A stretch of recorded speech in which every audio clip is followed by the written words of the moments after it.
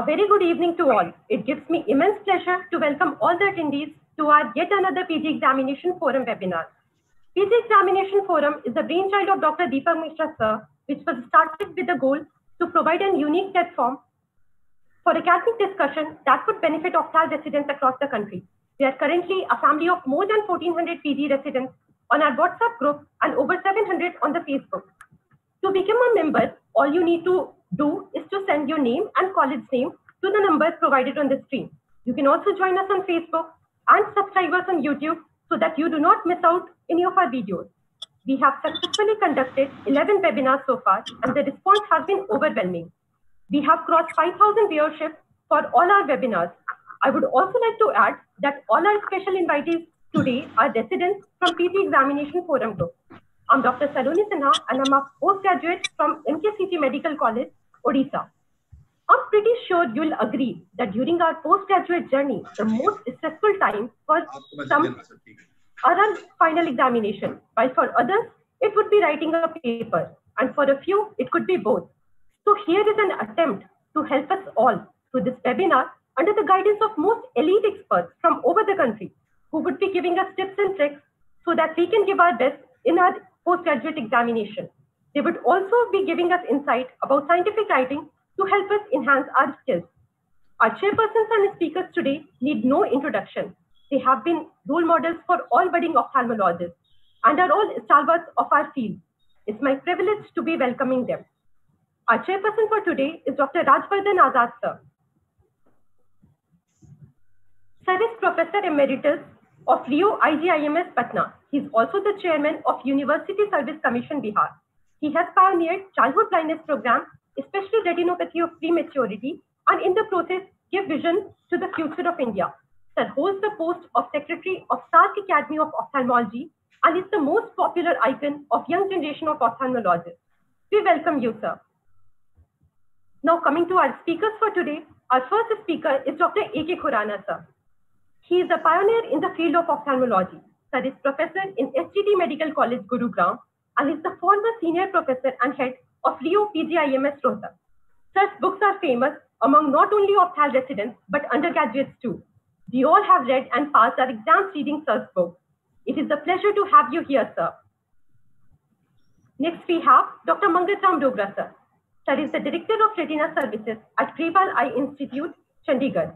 Sir has done exemplary work on retinopathy of prematurity and has received many honors and awards for the same.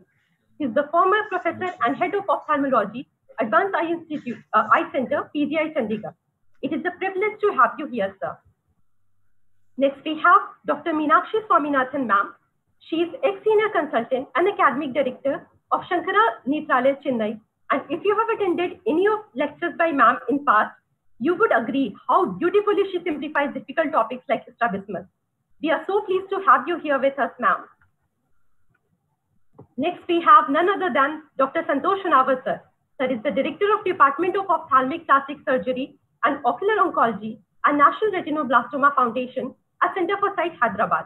Sir is also the editor of Indian Journal of Ophthalmology and has achieved the unique distinction of being the first Indian ophthalmologist to receive the Life Achievement Honor Award, which is the highest award of American Academy of Ophthalmology conferred to its members. It is a privilege to have you here, sir. And our last speaker for the day is Dr. Vivek Gupta, sir. He is Associate Professor of Community Ophthalmology from RP Center, AIIMS, New Delhi. He would be enlightening us on a very important topic of PubMed research. We are happy to have you, sir. Now, I would like to introduce our mentors. These are the people who are responsible for making these webinars possible.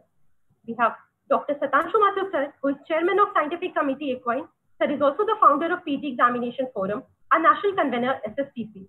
Sir is the Secretary of NZOS and UK SOS and owns uh, High Tech Eye Institute and Laser Center, Kashipur, Uttarakhand.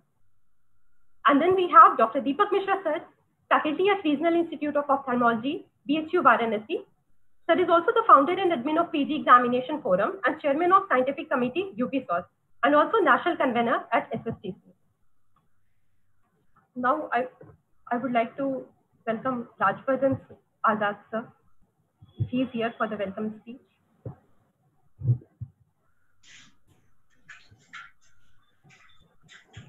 Today we are really very happy after doing so many webinars it is really proud privilege for me and for the PG Forum that we have teachers of teachers in ophthalmology with us. Dr. Rajawat Azad sir, Dr. Manga Dogra, Dr. Uh, Dr. Khurana sir, Santosh Dr. Minakshi, they all are teachers and many of us teachers have taught many of our colleagues. So I will request Dr. Rajawat sir, our chairperson, to give the blessing to the PGs because they are going to appear in the exams. This PG, this webinar has been organized because of their request because they were very worried what is good they will get, how will they give it uh, give the confidence to appear in the exam and get through. Dr. Azad, can you hear me? Dr. Ajad, sir, unmute करिए अपने को. You unmute yourself, sir. Yes, sir. Can you hear? Can you hear me now? All the students. Yes. Thank you very much, Hatanshu. And uh, I'm very happy to be here uh, among the students. It is always, you know, nice when I'm with the students because for so many years we have, you know, been in the teaching and uh, uh my first love are the students only. Uh, this is a very unique uh, opportunity for the residents to listen to the great stalwarts in ophthalmology. Uh, as already mentioned, Dr. Ashok Khurana, everybody knows, and uh, he is, uh, you know, one of the very prolific teacher. He has taught uh, so many students, and is a, a very good, you know, orator. we have with us Dr. Mangat Dogra, and with whom I am very closely associated not only uh, in the teaching but also in the uh, you know a special kind of retinal diseases. All of you know that is uh, that is uh, uh, you know retinopathy of prematurity. And then uh, we have a battery of speakers, Meenakshi, you know, who is very you know passionate about teaching, and we have a Santosh, who is very possessive about teaching and uh, uh, then we have uh, Vivek. Vivek is also very, you know, uh, Vivek, Vivek is also very you know enthusiastic about teaching and uh, you know medical education. And the two guys, you know, Satanshu and Deepak, they are very enthusiastic and very energetic, you know, in organizing such meetings. And this is very important, you know, kind of a session where uh, the stalwarts in ophthalmology will deliver the lecture. What we are going to discuss in this particular session is, uh, you know, something about the theory. When you go to the examination, then what are the things which are important in the theory? You know, how do you how do you write? Uh, what is the what is the type of questions? Uh, you know, you have anatomy, physiology, you have the diagnosis, you have the uh, you know the differential diagnosis, and you have the management. So all these aspects they are very important when we are discussing the theory, and especially you know if uh, you are you know writing about some particular disease, maybe you may get an essay type of question where you have to write about the you know the, the the clinical features, the etiology, and the examination, how do you, what examinations you do, and then how do you arrive at diagnosis, and, and so on and so forth. And when you are going for a oral examination or a practical examination, what we call, then we have, you know, various, uh, you know, uh, areas are there. Uh, like, you know, you go for the long cases, and long cases, you may get a long case in a one particular, you know, uh, ophthalmic disease then we you have a short cases. The short cases are there. You have then instruments are there. The questions are mainly asked on the instruments, and also you have you know face to face with the examiner. When you are facing the examiner, what questions they are asking. I can only tell you very you know a very simple thing, and that is the questions which are either put in the theory or the questions which are put, which are kept for the practical or the Viva examination, they are all questions which you daily discuss. There is nothing out of blue. There is nothing which is which you don't know, or there is nothing which you have not practiced during your residency program. So you don't have to be tense. Don't be tense. You know, do your normal work.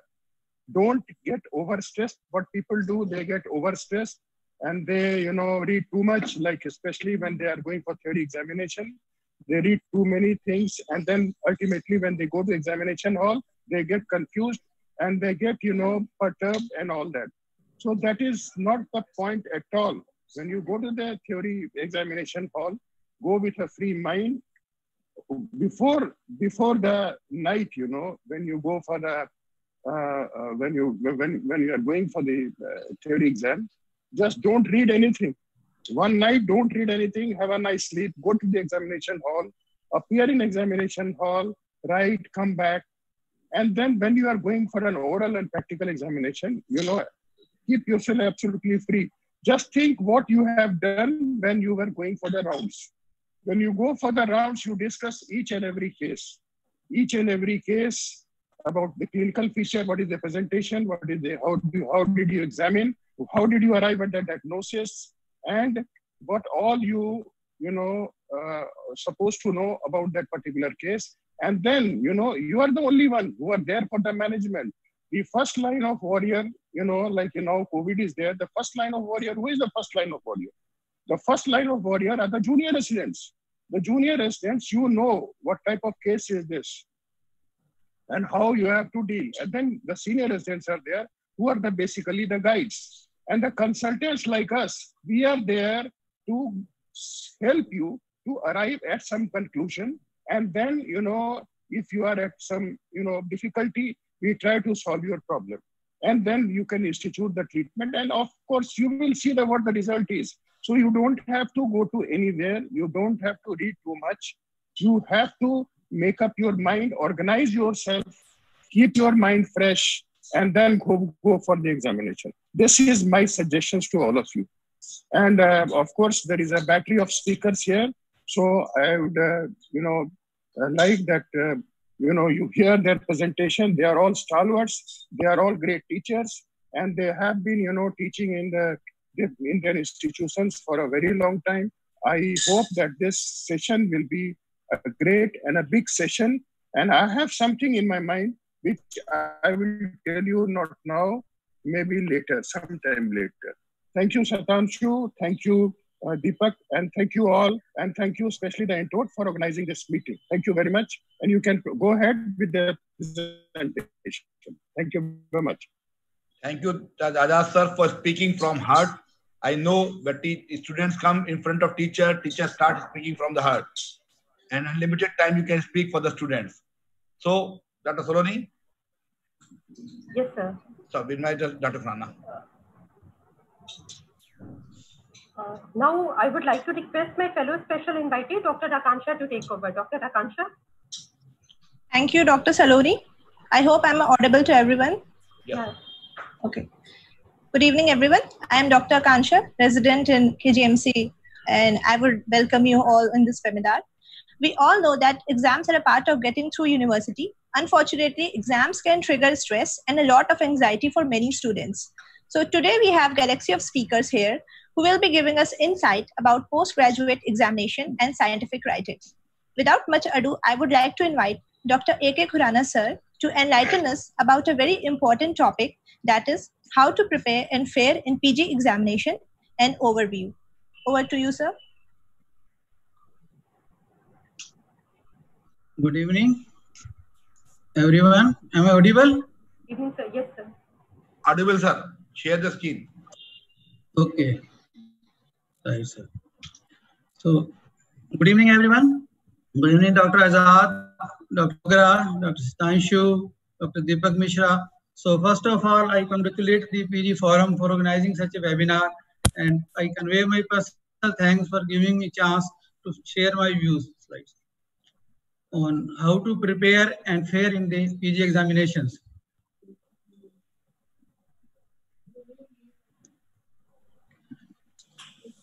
So I think by now, mostly PGs, they have appeared in so many examinations and they must yes, know how to appear, glare, share the examination. However, Sir, share the screen. Rana, share. Not share? Slide share. Okay, okay, just. Share the screen. Okay, share. If you have a slide, then share the screen. Or you can speak from your heart. Yes. is it okay Okay, sir. Okay. So I shall be sharing my views on how to prepare and fare in PG examinations. So in fact, what I personally feel that our residents need to know how to fare in residency during these three years because these are the three most important years of the training and their life through through which they will do well throughout their life. So the aim during residency should be to acquire good knowledge of the subject, learn and master the diagnostic and management skills, and be conversant with the digital technology. And with this knowledge, they should be able, able to reproduce in the examinations. And not only this, they should be able to become a competent clinician, academician, and a researcher in their life. So what I want to say that this is just a lifestyle of the residents, which I'm going to tell them, not the, any, any academic discussions. So even before joining the residency, they need to gear up. That is, when their results are finalized that they're going to be an ophthalmologist going to join residency, they need to gear up there and then. It is important to have a good head start in the residency because first impression is the last impression. So one should go through the basic ophthalmology books even before joining and start watching YouTube videos for various examination and investigative techniques which they are soon to perform. So,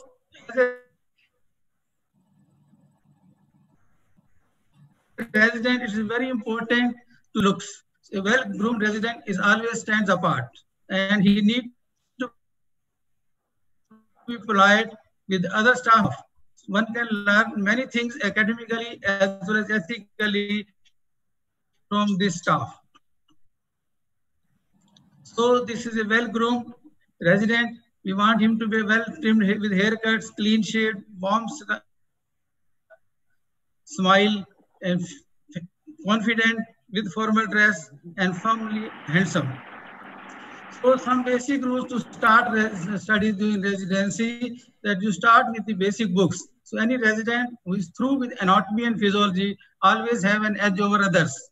Then case scenes in the OPD. Each case should be thoroughly studied on day basis and then can be discussed with the seniors. Then basic examination skills, one should learn slit lamp examination, direct and indirect ophthalmoscopy, and other as quickly as possible. And one resident should be proactive to attending the emergencies because emergencies can provide perfect one-to-one -one learning from your seniors. So, so then a resident must know how to extract knowledge from the immediate seniors, which are the main source of the knowledge for them. So they need to create a good rapport with seniors. They can be your guide throughout life, not only for these three years. Then the resident should be inquisitive. They should not hesitate to ask any questions because inquisitiveness leads to questions and questions lead to answers and answer leads to a broader perspective in life. So be proactive, prepare a new topic daily and discuss with your seniors and get practical tips from their experience.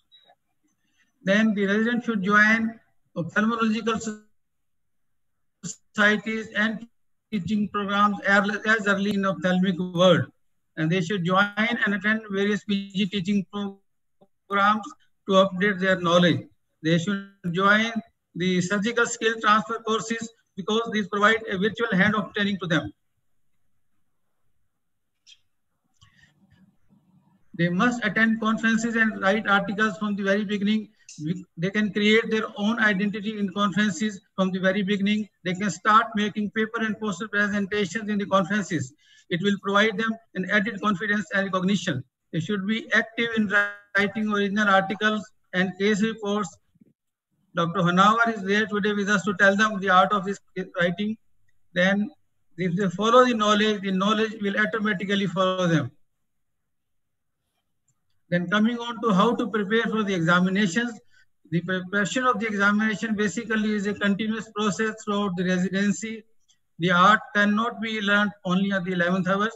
So it is three years work which will help them. they need to have a structured plan for study throughout the residency. Ideally, it should be an integral part of the curriculum.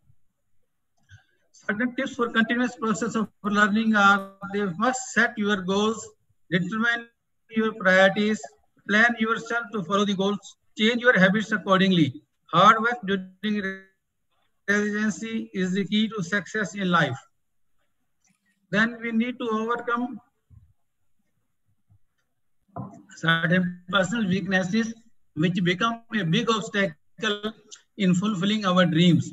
And some of these common weaknesses of, us include lack of goal setting, lack of self-discipline, over-socialization, lack of proper prioritization, procrastination, poor communication and writing skill, and last but not the least, the lack of planning. Planning is the most important for every activity in life, and those who fail to plan are sure planning to fail. Make a plan for effective study during this period and learn how to attempt the theory papers. I think Professor Mangat Dogra is going to give, the, give them tips. Then they should learn how to perform well in the practical examination and Dr. Meenakshi will give the practical tips for this. Then the, for effective study, understanding is the key factor. So always aim for understanding the subject rather than cramming. Pro promote understanding by rearranging the material and linking it with the clinical aspects which you have observed and practically performed during your residency training. And write and revise the important points frequently.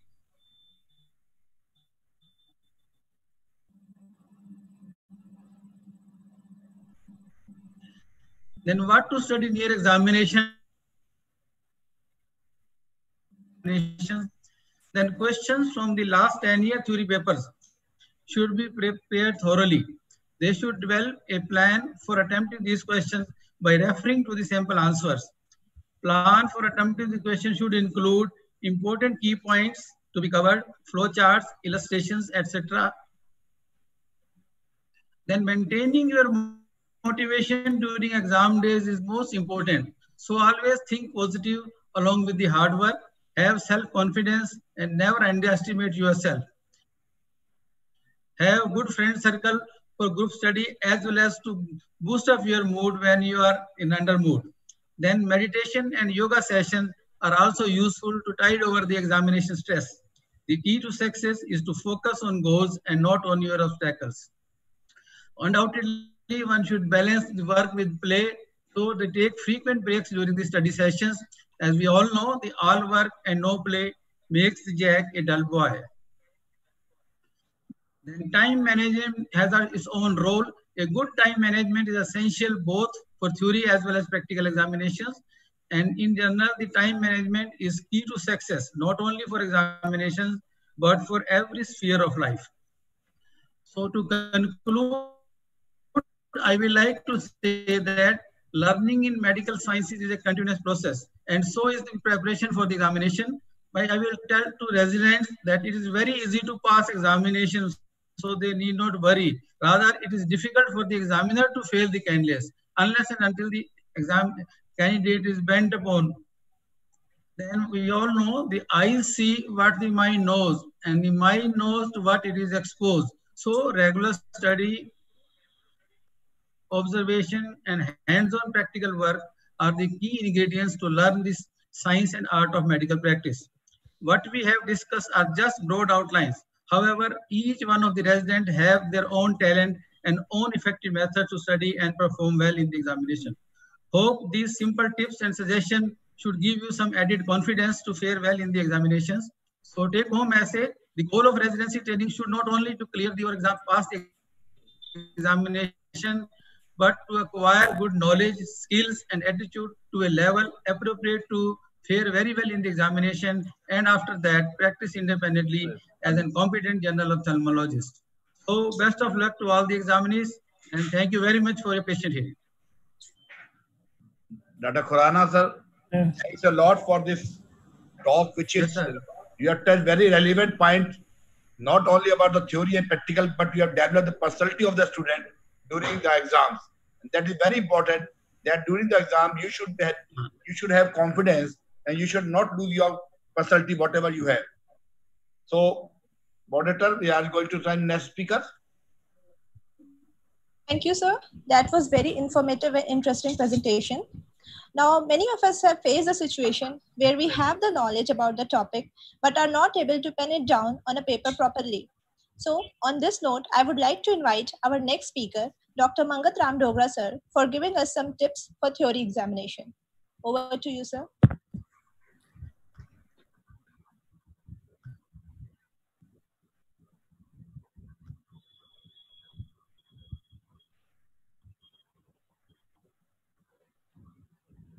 Uh, at the outset, I would like to thank uh, Dr. Satanshu Mathur and Dr. Deepak for uh, giving me this opportunity to interact with uh, you. Uh, I think that is what uh, I did lifelong. So are probably Professor Azad and Dr. Khurana here. I think we spent almost entire life doing this. but one of the, sorry, I think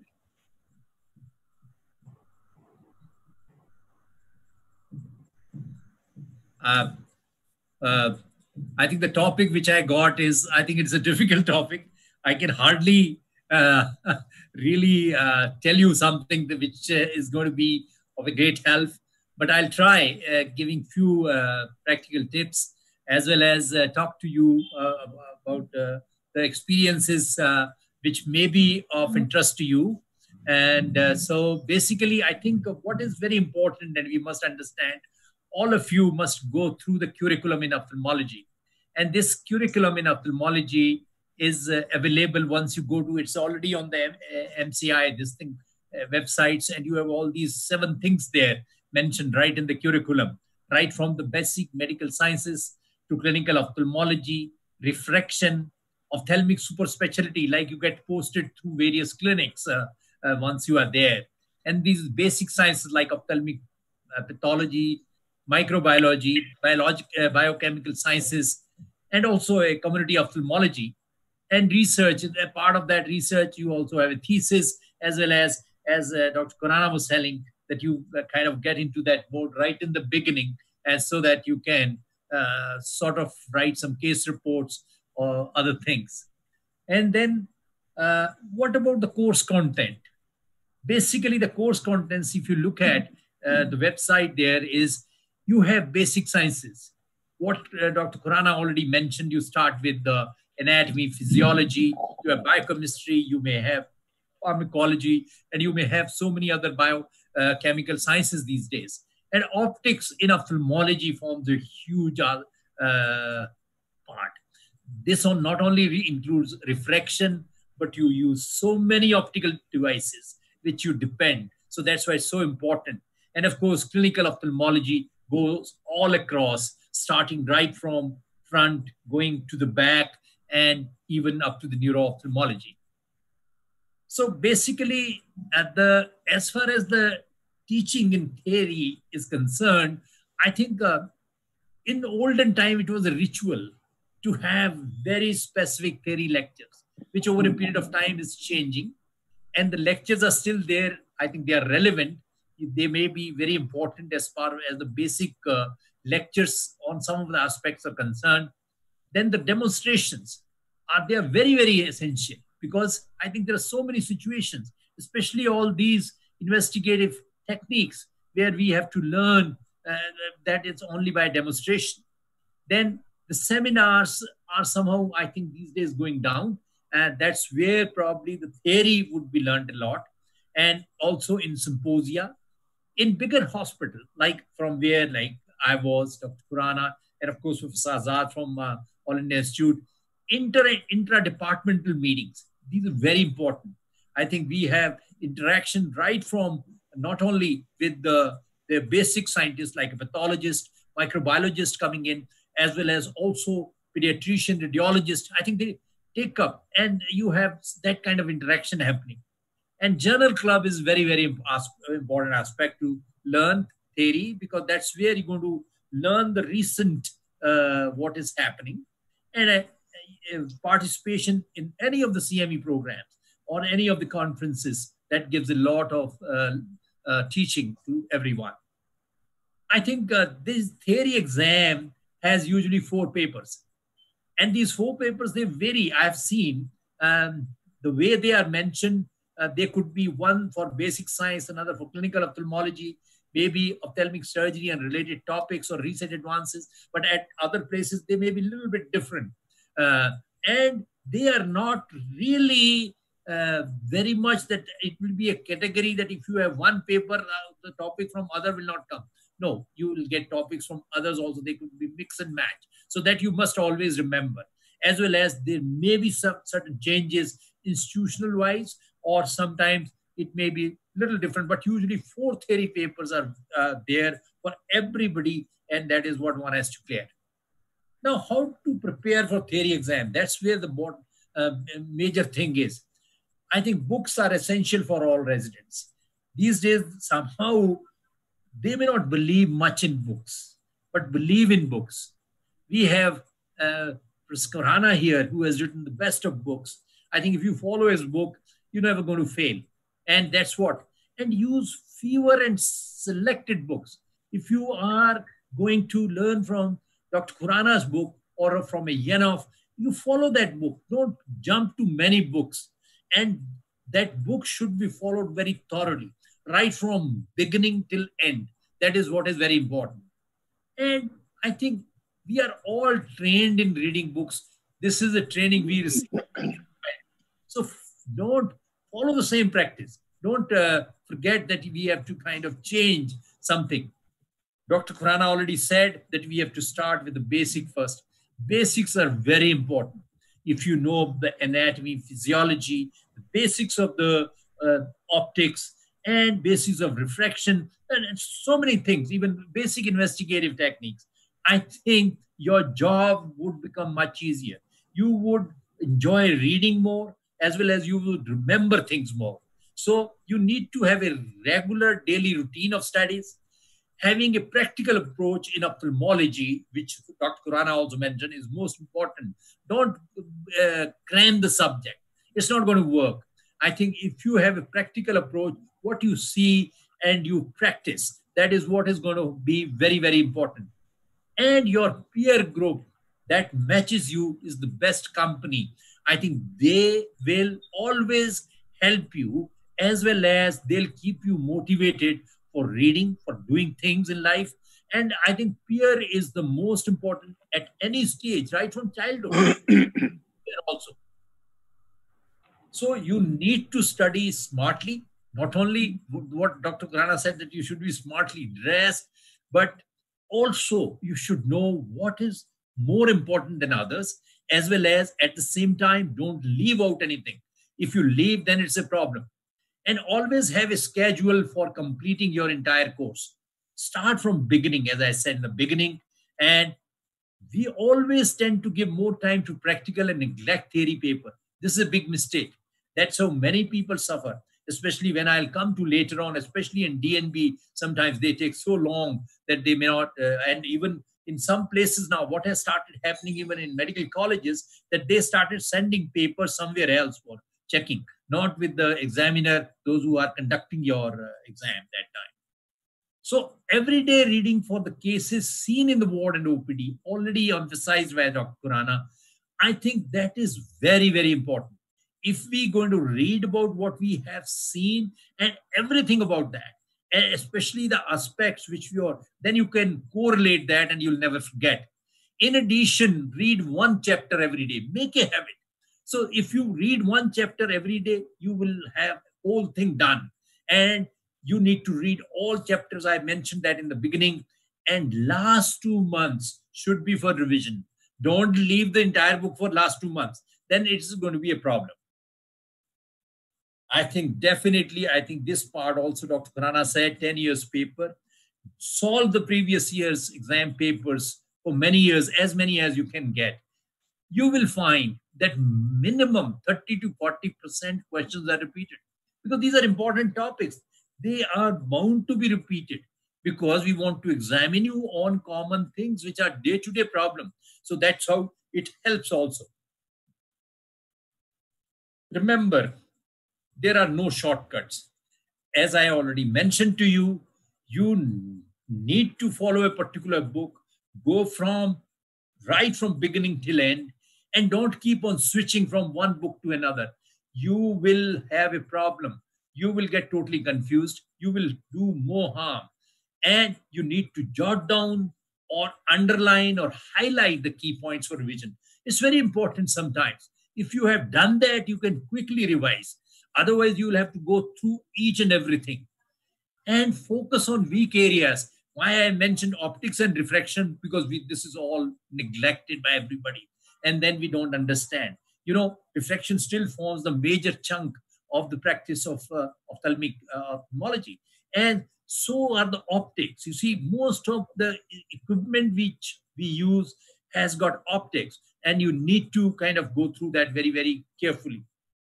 And standard pres- prescribed books are the most important reading material. Remember that. If you read the book, that is going to be more helpful rather than present generation only going to Google. They're just going to Google the uh, whatever the topic and they want to look at that. You won't get entire information the way you would like to have it, right from the basic all the way to what is happening now. That is from the book. And journals and review articles, of course, they do help. And uh, there are problems at this time. I have seen this myself and I get very worried because we being mostly educationists, there is a lack of dedicated, inspiring, and well-informed teachers in many peripheral colleges. And it's not their fault because they are now sort of getting outdated because they don't get uh, updated. There are many places they have, they don't have a phaco. There are many places they don't even know how to do examination with indirect ophthalmoscopy. I'm a retina person. I go to many medical colleges. So they have never done that. So uh, what I'm mean to say is there is a lack of uh, practical skills and knowledge uh, in various centers. For that, we need to, to create a situation, more resource center, as well as professional development programs so that we can have all of them trained. I have even gone to places for a sort of doing inspection or a survey where teachers feel very sorry that they have not seen many of the things or they have don't know many things which are uh, very important these days. And there are of course issues with the resident also. Resident is exposed to so much of information. They are not only confused they also want everything to be done which is not possible. You see in our country there's a resource constraint. So focused motivation may be lacking. They may be interested in something which in fact may not be of importance. That is where the problem lies. I think if they go back to the basics and then study everything and after that they go into then that is what is very important. And shortcuts are applied most of the time. They may be just interested i just want to do cataract surgery and i'll be fine. They'll not even look at they don't even know that what are the complications what are the consequences how to manage. So shortcuts are not. And that is what the problem is also at this time which we need to sort of uh, take out. And time management is very important. It is highly uh, this thing that we should be organized and disciplined and ensure you take out enough time for preparation revision as well as relaxation. I think this part relaxation uh, professor Khurana also mentioned because that is also very very important aspect in addition have time for clearing your doubts with your core group. Your seniors, he mentioned about senior residents, he mentioned about the faculty, immediate seniors. You see, you learn so much from everybody. If you have that kind of a group which is vibrant, you're going to be learning much more. There are little differences between DNB as well as MDMS, and I'm sure both kind of residents are there. DNB students may be better exposed to latest equipment and practices than MDMS because many of the colleges uh, in the setup, maybe in the peripheral medical college, they don't have everything available. But they have certain advantages. They have structured training, uh, teaching program. They have those trained teachers, which uh, in fact impart good education to them, although they may not have all the equipment. And proper faculty may not be sometime available for DNB student. You might they might have more people, those who are more interested in doing surgery or may not be uh, having teaching experience at all. That can happen. And teaching and training for both varies according to the place and institution. So we have institution. In fact, I think that we've been DNB examiner, me for many, many years, up north, south, everywhere, then we understand. If they come from very good institutions, and I, I don't need name them, I think we, I myself, I have seen 100% result. Although it never happens, I have written here 40 to 60%, and in some subjects it is still about 15, uh, 30%. So it is possible because I think good institutions would totally be different. So DNB is a problem in a way that theory is given much more uh, weightage. Like why I mentioned here, you have to have 400 100 each paper, 100 uh, marks each paper, and you get 200. And in practically only 300 marks are given for that, which doesn't happen in MDMS. That is different there. You may have mostly more weightage for practical as compared to theory, or sometimes it is 50 50, that is variable. So the DNB entry may be easy, but exit is a problem. That's where the issue sometimes happens. And MD is the other way around. I think entry may be difficult, MDMS, but exit is relatively easy because the exam is held only at that place, and in DNB you go to a different center. So, what are the tips uh, to crack exam? You need to scan the question paper very carefully, read each question, and think how much time for each question is required. This is very important. If you don't have a time frame in mind, it's going to be a problem. Whether you need for some kind of a shorter notes, just about uh, say five minutes, seven minutes, 10 or 15, mostly like we have 10 questions. Or you may have sometimes uh, bigger questions and small notes. So you must have that time frame and make a list of things asked in the question. Sometimes there are three things asked and you divide those marks. Suppose it is 10 marks and you keep on spending only on etiopathogenesis so much of time and it is that is hardly two or three marks. That doesn't work. And select and attempt easy question first. That I feel is important because that build your confidence. And first solve the question with more marks. If the question has more marks, you tend to solve that and divide that, as I said, different areas in that. And you must attempt these questions quickly because you know them and that will build the confidence. And this approach, according to me, may be better than going just in an order because sometimes you get into a situation where a difficult question is there, you are not knowing, then you waste time, and then it's a problem. And you need to definitely, definitely uh, attempt most of the questions. That's very, very important, or, or all questions. I think I need to emphasize this point always make a neat diagram wherever possible. There are many in anatomy. You may get development of a lens. You may get blood supply of optic nerve, superior orbital fissure. Just make a diagram, label it, you are done, and you'll get full mark. And same way, you may have optics of indirect ophthalmoscopy. If you just make a nice diagram, you are done. That is what is very important. Label it nicely. The flow charts wherever possible, flow charts are very important that give the gist as we manage particular condition. And enumerate points. There are so many like if you are talking about complications or you are talking of various therapy you can enumerate them very boldly. One two three four five six. That is nobody is reading line by line.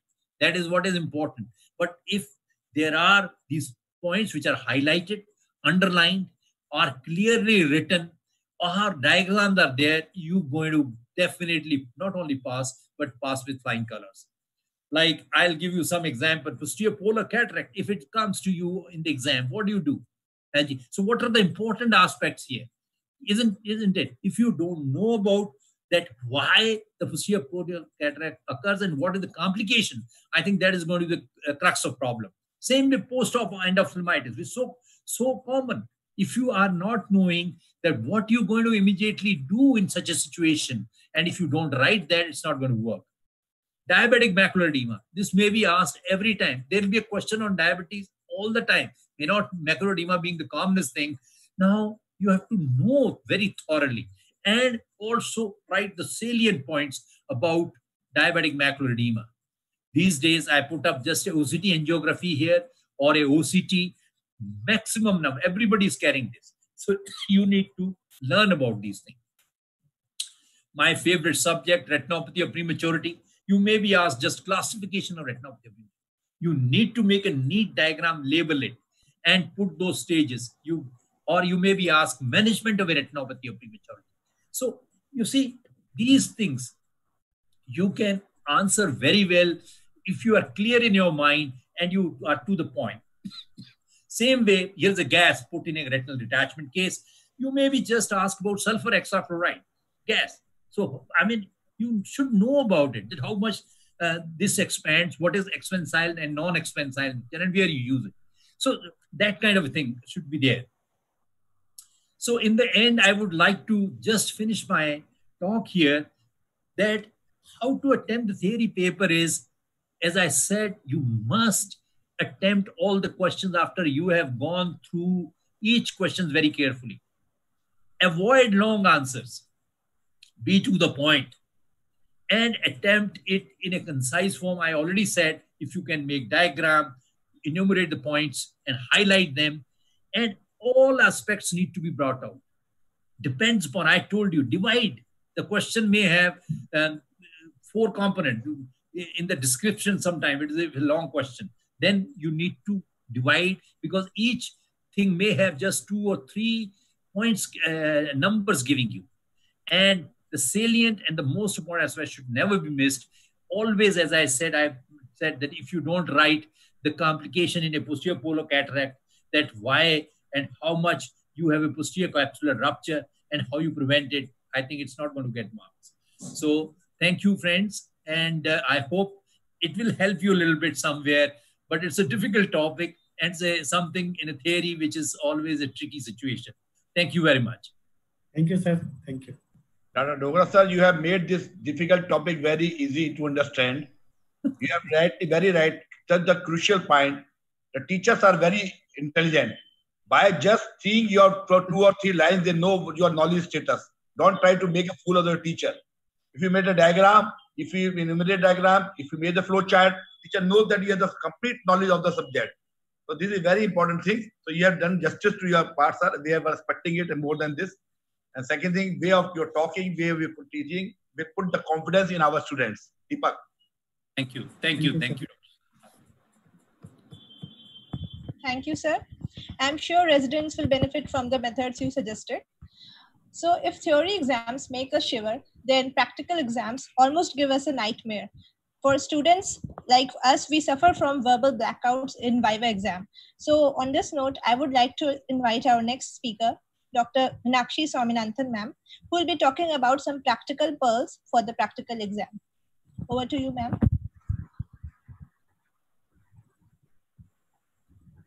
Thank you so much. And uh, Sanshu. Thank you, uh, Dr. Deepak. I feel very honored to be here in the company of uh, esteemed teachers and friends.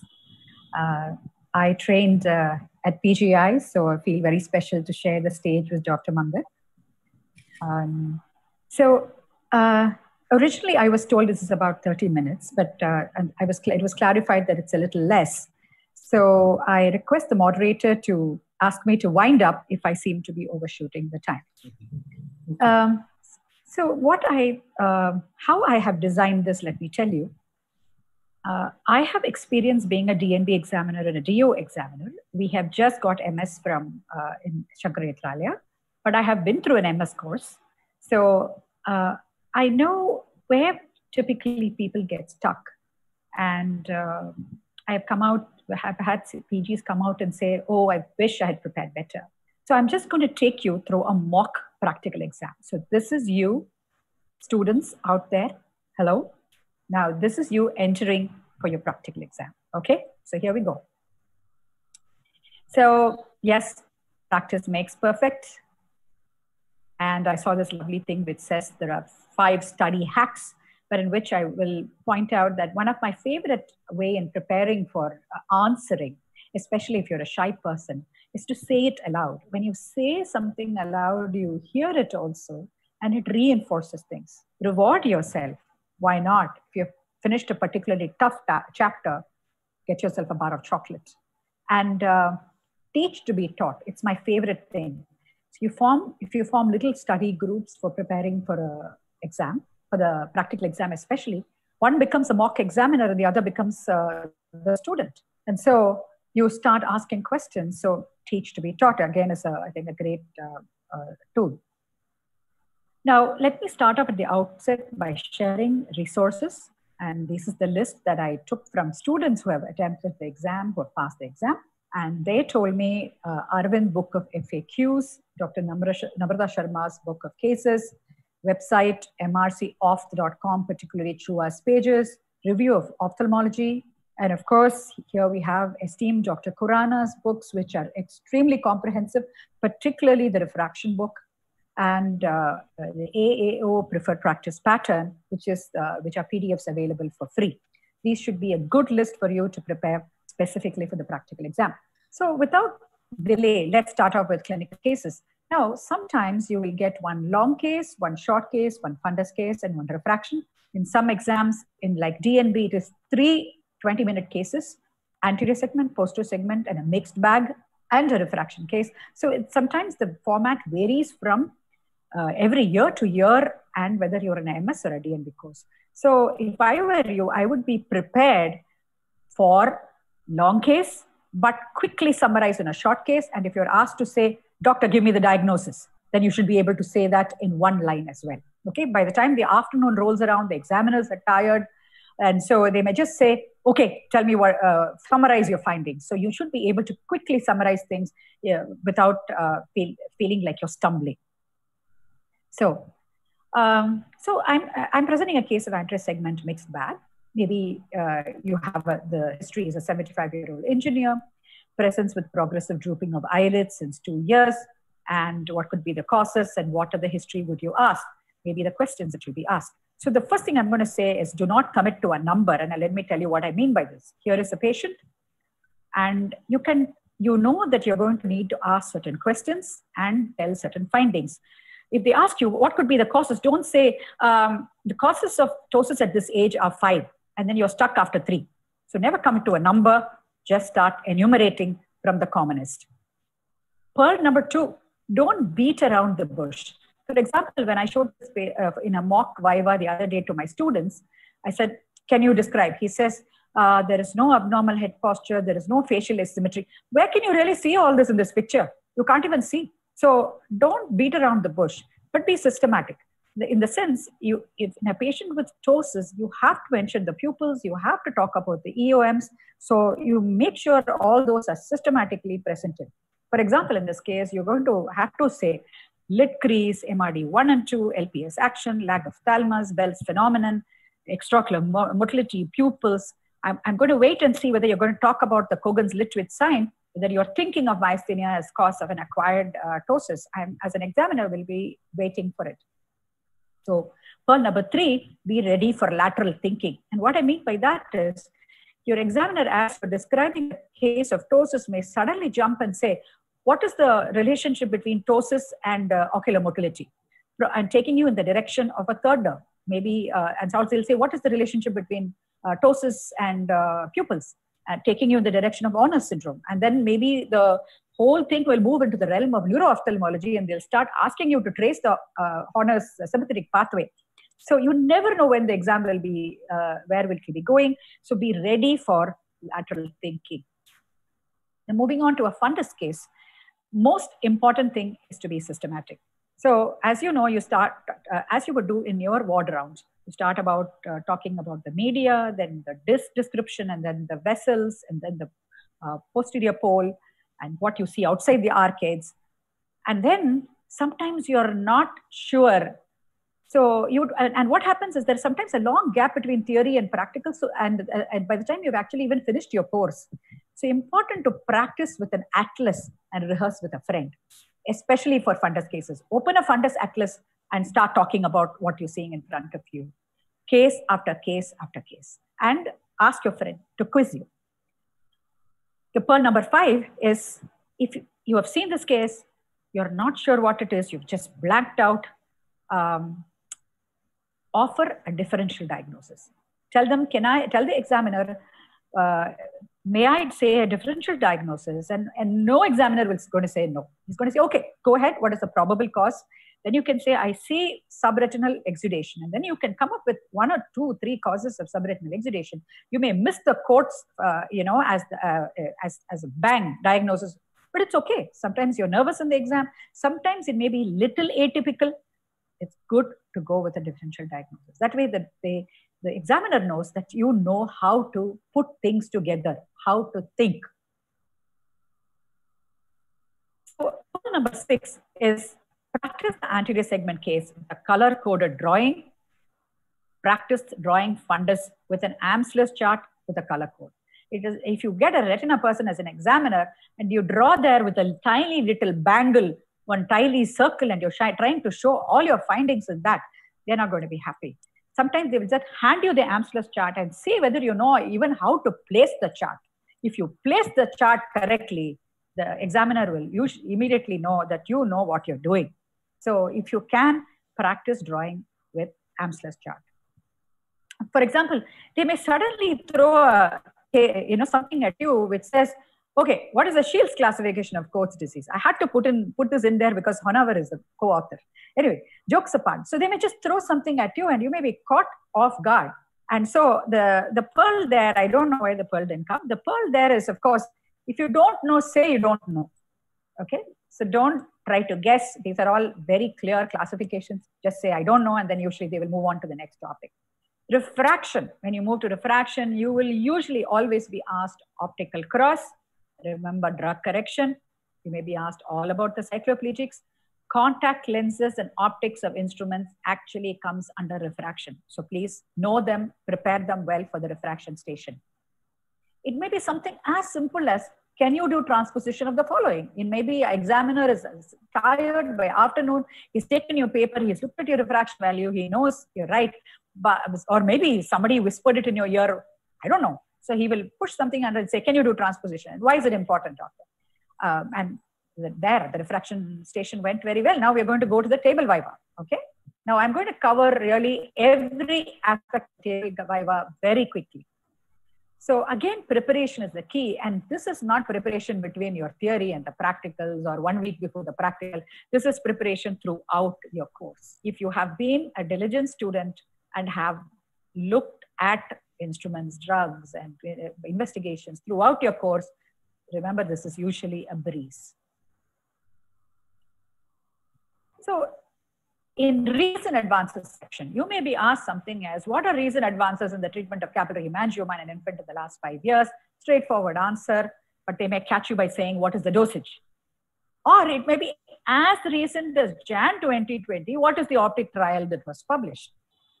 So the pearl here is that where do you read recent advances from? Good sources, IJO, the DOS journal, the state society journals also very often have very good recent advances, um, uh, write-ups. The AIOS proceedings, believe it or not, is a great resource. It has excellent videos from every session of the AIOS, of which recent advances, in fact, it's going on. Recent advances in glaucoma is currently being sent to us by uh, Dr. Aru. So community ophthalmology. It may be as simple as classification of vitamin A deficiency, a piece of tape, or it may be something like an NGO wants you to conduct a surgical camp in their village. How will you go about it? Maybe they're trying to trick you. They, they want you to know what are the rules. So if you don't know, like I said, say so uh, and move on. So moving on to the, there is one segment called basic science. Again, it may be something like describe attachments of the orbital septum, but be prepared to draw. They might just shove a paper on, in front of you and say, go ahead and draw it, doctor. So don't think drawing is over with theory paper. It may feature in practicals also surgical instruments. First, uh, very often either they will hand you one or you they will ask, they ask you to pick one. Okay. So in your mind, be prepared which instrument you would pick, either in the oculoplastic tray or from the anterior segment tray, typically. Thankfully, they don't keep many VR instruments. And uh, strabismus is anyway only a muscle hook, so it's okay. So you have to first identify, use the proper noun. You say this is Kerrison's bone punch or bone rongeur or whatever you want to say. And Following that, usually you are asked a question in relation to that. Like, for example, it will be compare and contrast endonasal with external DCR, maybe the question that will follow this. So the pearl here is generally don't contradict the examiner with vehemence. The examiner may say different from you, but usually be respectful and just say what you have to say and keep quiet. Don't get into an argument. Drugs typically, again, usually are very straightforward. Uh, you have to know the pharmacological name, uh, percentage dilution, route, dose, mechanism of action, indication, contraindications, side effects. You have to know this for every drug that you encounter in ophthalmology. And the best way is throughout your PG, just rehearse it quickly. Moving on to radiology. Radiology, I put radiology here, but this is true of all investigations. So you may be shown a plate like this, or you may be shown an image on a laptop. Don't start talking immediately, is the pearl. First, spend a few seconds looking at the image, studying it systematically, and then start talking. For example, I, uh, we did a mock viva the other day, and uh, I said, you know, go ahead, tell me what's going on here. And uh, one of the people I was doing the mock viva with, you know what uh, that person said? I think there is a bony, uh, you know, expansion of the zygomatic bone. I think there is maybe a bony tumor. This person completely missed the floor fracture. Now that is a serious, serious mistake. So the, the, the trick here is be systematic in your description. If you have if you have trained yourself to be systematic, like talking, say, I think this is a CT scan, coronal cut, at the level of you know mid level of the orbit i can still see the globe. Patient is slightly tilted because the orb- the eyeballs are a different size. And then if you go systematically you won't make silly mistakes. So very important to read any scan investigation oct uh, whatever it may be systematically. Next you will be asked opd instruments. It's not uncommon. Maybe something like this. You may be asked even the variants. You may be asked where will you position this etc., etc. Microbiology. You, what you have to do is describe the stain, the, you or identify the organism. You have to know about the media for culture, the infection that it causes in the eye, other and uh, uh, other organisms in the class. Like example, I asked the other day. So, what are the other gram-negative bacilli? And there was a complete blank. Please at least say Pseudomonas. Okay, and you have to know antibiotic susceptibility of all this. Come on, I mean, eye infections are so few, really you have to at least know them really well. Pathology. First, identify the tissue. Again, there is no shortcut for this. You have to look at ocular pathology, uh, you know, atlases.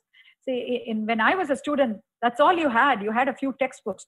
You have so much resource on the internet. For every, for a, you know, for a basal, basal cell carcinoma, there are, you know, 25, 30 images out there of, of every, uh, you know, type for morpheaform, whatever it is.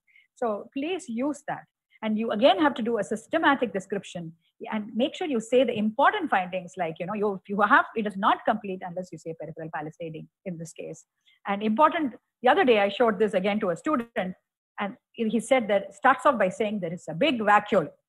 And uh, I said, God, how am I going to help them? So the, beware of artifacts as well. So again, be systematic. And I said, practice with an atlas.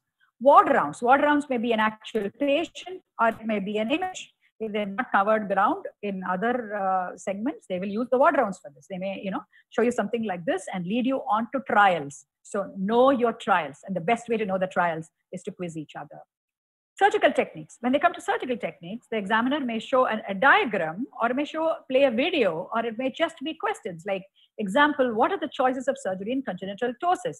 Describe the steps of the LPS resection because they want to know whether you have actually even seen these surgeries. Now, if you look, the pearl here is look at the number of webinars that we have had, you know, a plethora, a bouquet of webinars. There are so many YouTube videos, wonderful videos. I know Dr. Santosh videos are there up there, wonderful videos. AIOS, AIOS proceeding videos are there. So please go through surgical uh, videos. I never saw this during my PG I never saw this procedure is not an excuse when you have so many resources out there.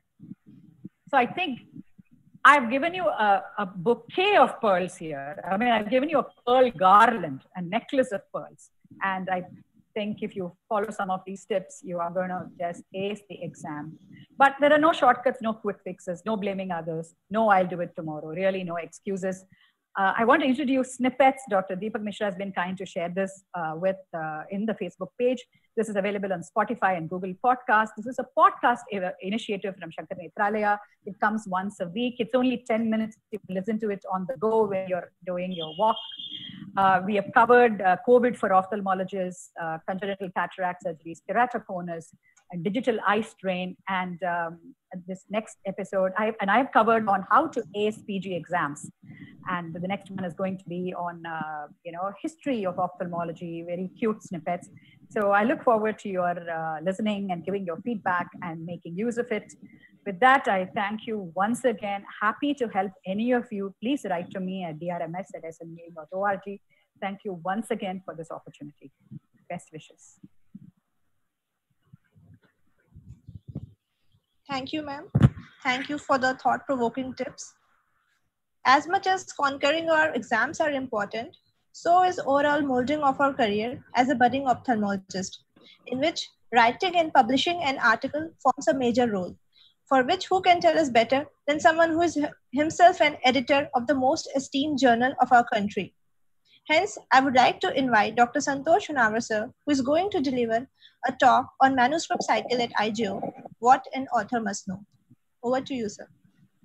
Thank you so much. In the next 15 uh, minutes or so, I'd like to cover what happens behind the scenes after you submit a manuscript to IJO for, for that matter, any any journal for that matter. You know, journal processes nearly remain the same. But before we go forward, why should you publish at all? You know, what business does a resident have to publish? Publication is mainly for the faculty. That's what we think. Publication is extremely important for a resident for several reasons. One of which is that a selfish reason is that your CV becomes stronger. These days, you don't stop at residency and you really want to progress on to do fellowship Indian or international. And if two people are exactly similar in terms of, say, a fellowship exam scores or the, you have fared equally well in the interview, the differentiator between two equally well poised individuals otherwise is a publication. So one publication can tip the balance in your favor if you have it. And if you don't have it, the person who has it will get the advantage. That is one. Second is that if you want to apply for an international fellowship, or even if you want to apply for an ICO fellowship, which is a funded three-month international fellowship, if your CV is strong and it has a few publications sprinkled somewhere, then it's always a good. You get an advantage. So that's a fair advantage. The third important reason is that during residency, you see a lot of good cases. And if you have a documentation, if you have a mindset to document every good case that you see, and write it up, then that is actually a very good thing because that helps you in your studies as well. You become very systematic that way. And one of these cases that you have documented might become published. And in fact, if you have a grand round in your own medical college and if you have a very beautiful case that is presented in the grant round by you, then it, you might as well write it up. Even if it doesn't get published in a major journal, it may see light in a national or a state journal. So it's always a good idea to write up things. So this is the editorial process that happens. Whenever somebody submits a manuscript online, it goes for an editorial review, then goes for production, and then goes for publication. So this is the first part of the editorial review, where there is something called a quality check. So when a manuscript is uh, submitted, editors and their team examine the manuscript. They see it very much in detail, look at the language, look at the formatting, look at whether the manuscript is complete or not. Is it missing an abstract? Length or word count. For example, if you have a case report, you can't go beyond 800 or 1000 words or whatever the journal prescribes. Scope. If you have a totally experimental study sent to a clinical journal, then uh, it may not stand a chance. Similarly, if it's a research journal and if you see a, send a purely clinical stuff, it also may not stand a chance is the article type correct? Have you submitted a case report under the section of case report or have you submitted it as the original article? What is the significance? Is it a simple run of the mill case or does it have some kind of a teaching point? And what do the readership want and what impact would your article have? So these are the factors that are taken into consideration in the initial screening. If a particular manuscript does not satisfy most of these, then the manuscript is rejected at the phase of submission itself. So within a week or 10 days, if you hear from the journal that your manuscript is rejected, that means that it was rejected large, largely based on the screening criteria, the priorities for that particular journal, and it has not undergone a due peer review process. Suppose some of these factors are missing and the manuscript is alterable, it can be modified, then it is sent back to the author for alteration. So that is called a technical revision or a technical review. So technical editor will screen the manuscript and send it back to the author saying that you need to correct your references, you need to put your results in this particular way, your graph should be like this, your table should be like this. All that has to be achieved before it goes to the peer reviewers because peer reviewers have very limited time. They are the most scarce resource in in medicine or ophthalmology or any scientific publication process, they have very limited time and you cannot bother them with a full stop missing there or a comma missing there. They have to be given a manuscript in a particular accessible format. So a baseline review always aims to ensure as far as possible that a manuscript is given to the reviewers or presented to the reviewers in a format that they can easily assess it. So once it reaches a stage for a peer review, it is sent for a peer review. So this is what the initial screening phase is. This happens in the first three or four days. So this is this is when I log in, this is what I see. How many are in editorial review, what category, in how many manuscripts are waiting for a decision, how many are waiting for a revision, how many have been rejected over the last one year, how many are under technical modification, so this is my kind of a opening screen that I see. And here I choose whatever that I want to work on or any editor for that matter, whoever wants to work on a particular aspect, they would choose it and go forward. That's just the close-up of the screen. Now, uh, once it passes the technical screening, as I said, baseline scientific review is performed by an assistant editor in IJO. Now, this is again by an assistant editor who is a very young individual. He's at the lowest level of a faculty, assistant assistant professor or a lecturer, or somebody who is even a senior resident for that matter, who's competent in assessing an article. He does a baseline scientific review just to make sure that the article is optimized before it is sent for peer review. Now, if you think peer reviewers are very cruel, they they want to bash you up for every small mistake you may or may not have done, that is very wrong. Peer reviewers actually are some of us. They are peer review is an evaluation of work by one or more people with similar competence to the producers of the work. That means that your own friends and colleagues may be reviewing your work without them or you knowing that they are reviewing your work because it is double blinded in most of the journals. So if I get an article written by my own friend, I can possibly guess based on the case profile, but I cannot confirm whether it is written by him or her because I, I won't know who whose manuscript I'm reviewing. Similarly, the author will not know that I have reviewed. So it is a double-blinded kind of a review. So nobody will be unduly critical towards your work because they don't know who you are. There is no personal bias involved, or ideally, it should not be involved at all. It is a form of self regulation. Basically, in science, self regulation is very important. So, if your peers are equally competent as you are, they will be able to tell whether a particular article maintains quality, can it be improved further, and is the work credible or not. So, the purpose of peer review is very fully, as I would say. You know, it assesses the suitability for publication. Is the work true, credible? Is it reproducible? Is it important and relevant to the journal and its readers? Is the work communicated effectively? Is there an element of novelty to it? Is there any plagiarism? It also would help you improve the manuscript because they will comment on how to interpret results in an optimal way, how to reason out the discussion, how to present the results in a much better way. You'll get critical but constructive feedback and also some new and additional ideas at the stage of peer review. So, how are peer reviewers chosen? we have a huge database of peer reviewers. Whenever somebody's manuscripts gets accepted, that particular person also gets added to the bank of peer reviewers because he has written an article and it is accepted. So he has some standing in the publication world, so he gets added. So similarly, we keep on adding good reviewers all through the year and we have a big database. But we don't preclude the authors from suggesting reviewers.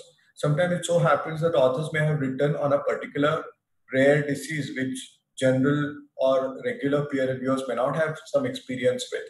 So authors can actually suggest the names of two or three peer reviewers. That is perfectly acceptable. We may or may not send it to them, but authors can suggest it as part of the submission process. We can also accept peer reviewers as suggested by other reviewers. For example, I send an article to Meenakshi and she says that, no, I don't think I would be able to review it, but I have one more colleague of mine who may be able to review it. That is from a suggestion of a reviewer. That is fine. Reviewers may also be suggested by editorial board members and our own knowledge of the community. Now, this is a reviewer's score sheet or a questionnaire. It asks several questions. Does the manuscript contain new and significant information? Is the problem significant and concisely stated? Are the experimental and theoretical methods described comprehensively? Interpretation and conclusion justified by the results, which is very important.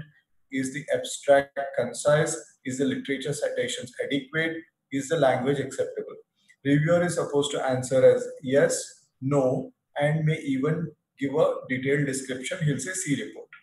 Then finally, he will give either accept, minor revision, major revision, or rejection as the result. So peer reviewer is asked to comment on whether the article should be accepted, whether it should be modified, whether it should be rejected. Acceptance without modification is extremely, extremely rare. You won't generally want to accept an article without even a minor modification. So it's very rare. So majority of manuscripts go for a major revision or a minor revision. In fact, major revision is more. About 60% of revision articles go for a major revision, which means that it will be reassessed. Major revision will also mean that it will go back to the same reviewers for reassessment.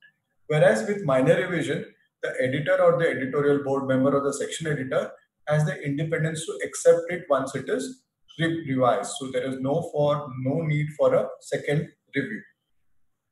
So when an article comes back to you or the author for a revision, you have to look at the reviewer's comments very, very carefully. You have to be nice to them when you respond to them. You should thank them for positive comments. For negative comments, you should accept their views. Well, views can differ and try to explain it very politely. Don't take a kind of a confrontationalist attitude towards the reviewer because they haven't harmed you. Their intention is not that. They may have used some rough language that is individual, but then their intention is not to harm you or hurt you. It is just to point out mistakes or being critical. So you take it as it is at face value and respond to it very gently, as gentle as you can be, but making your point loud and clear. So your point should be loud and clear, but the language that you use should be quite gentle, apologetic wherever that is required, and thankful wherever that is required. So because your re- responses will go back to the reviewers, and if you are confrontationalist, they might take it in a negative sense, and that may lead to multiple sessions of review and re-review, and your manuscript publication may unduly get delayed. So you need to convince them, and generally not the editor. If the reviewers are convinced that your manuscript is good, then editor has to simply accept it. He doesn't have any much role. No, some manuscripts are rejected, which is unfortunate but true. In fact, 50 60% of manuscripts may be actually rejected. In some journals, it is even 90%, 98%. But when a manuscript is rejected, do you actually counter it? Generally, not. Generally, if it is based on a sound reasoning why it is rejected, you don't go back and fight with the editor or the editorial board. Occasionally, but if you think that you know comments are not justified, they are biased, etc., then you uh, can appeal to the editorial board for a re-review, which is very rare. Now, why do manuscripts get rejected? What are the problems? So all that is shown in red are the most frequent reasons. Poorly written manuscript, your work may be good, but writing may be very poor. inadequate or inappropriate way of presenting. It means you're very repetitive, data is all haywire, there is no organized way of presentation. Very poor description of the design, that means make, making it very difficult to reproduce. Some of this is excessive zeal and self-promotion. That means that, that this is the first ever case in the world of this particular disease, which may not be true. You may not have done your literature search carefully. So you should not be very you know, um, you should not self-promote yourself. You should not quote your own articles too many out of 20 articles that you have quoted. If 15 are yours, then that is self-promotion. And if you're confused or contradictory, your results say something, but your conclusion says something else, your discussion says totally different thing, that is confused way of presenting your results and discussion. So that is also one of the reasons for rejection. And if the uh, reviewers feel that essential data is omitted or doctored or ignored. That means that you have not talked about your complications. You have only talked about the positive aspects of the study, hidden all the complications behind. You don't want to talk about it. That is something that is negative. It's very boring. You don't make any point at all at the end of the manuscript. That is again something that is considered negative. And if you ignore important work of others, if you don't cite it, also that is considered negative most important reason for rejection, of course, is plagiarism. So we have a built-in software in IJO for any journal in that matter, for that matter. You can actually upload that particular article on a software called iThenticate or anything, some, something similar. And sometimes you'll be surprised to find that the plagiarism index is 48%. That means that 48% of this particular manuscript was copied from other sources, which is very bad you know, this is not considered good publication ethic. There are many other publication ethics also, and there are guidebooks for uh, editors as to what are what com comprise publication ethics. There are ethical responsibilities of the editors, authors, referees, and even the publisher. Editor is supposed to be efficient and fair, ensure confidentiality. That means I cannot talk about your manuscript to your colleague who may copy your idea make a final decision on a sub, sub, submission in a reasonable amount of time, has to select referees in a fair manner, cannot assign all strict referees to one manuscript and all loose referees to another manuscript, and uh, act upon allegations of scientific uh, misconduct and deal with uh, appeals very appropriately. Authors has to has to have to be honest. There should not be multiplication factor. If you see ten cases, you cannot say I've seen 100 cases of this particular disease. You have to be very honest in terms of number, your data, and the data analysis. And you should give due recognition to published work of others, due acknowledgement to all the contributors. You cannot leave out a particular co-worker. If you have used a particular co-worker or a colleague to get a set of cases, you cannot leave him or her out, which often have happens if a particular person leaves the hospital or a department or an institute, normally, you know, people move their jobs all the time. And if you're using 75% of his cases or 50% or even 10% of his cases, you cannot leave him out as a contributor. You have to include everybody who has contributed cases as a contributor or who has, whoever has part- participated in the study. And you should not do salami publishing. This is called undue, fragmentation of work you cannot say I'm pu- publishing only one particular aspect of, of this may work in one, this journal and I'll reserve complications for some other journal. That cannot happen. Or you can say just 40 cases published here and next year you publish 58 cases of the same disease somewhere else. So you cannot do that. Right? And at one time you should not submit to more than two journals. And reviewers also have a responsibility of uh, not taking personal advantage of the data, not uh, getting biased with conflict of interest and maintaining confidentiality, being objective and being timely. So if you have jumped any ethical, uh, uh, you know, uh, boundaries, then uh, there are very severe penalties. Finally, after this, once the manuscript is accepted, it goes into the production line. What does production involve? It involves copy setting, copy editing. That means that somebody in the journal's office go, goes through the manuscript and picks out spelling mistakes which are inadvertent or language editing, sentence construction, paragraph, everything they look at, and then they type set it. Once it is typeset, it goes back to the author for what is called proofreading. And it is generally timed 24 to 48 to 72 hours is given for proofreading. You proofread it, send it back to the uh, journal's office, and then you will get a final copy again. If you are still not satisfied, you can proofread even up to three or four times until you are satisfied that everything is perfect at that stage. Then it goes for printing. Now, once it is printed, is the game over? Game is just begun actually. If you're in an academic world, publishing a manuscript is just a game begun because you talk about what is called impact of your article.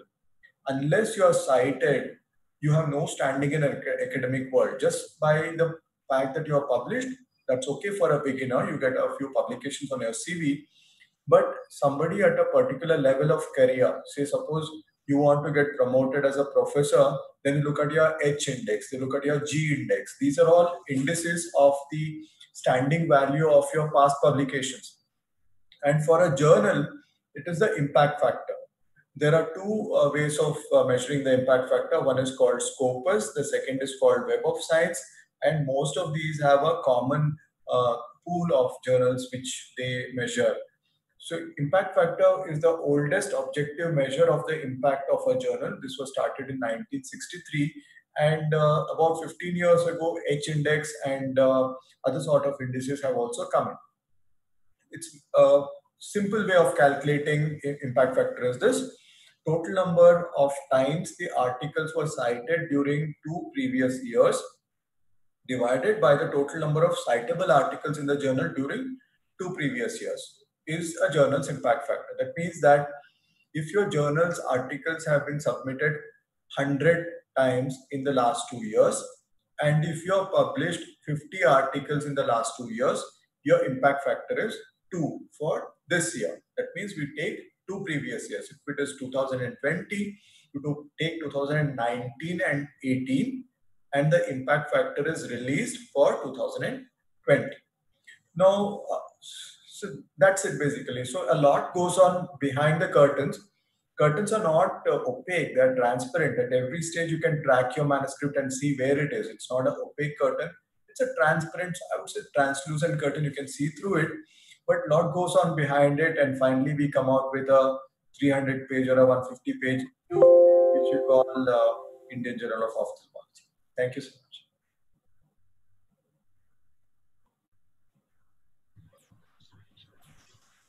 Thank you, sir, for the excellent presentation. It was beautifully covered. Now, being young medical researchers, we all have heard about PubMed, but are we actually well versed with it? So, without much further ado, I would like to invite our next speaker, Dr. Vivek Gupta, sir, who will be throwing light on how to do a PubMed search. Over to you, sir.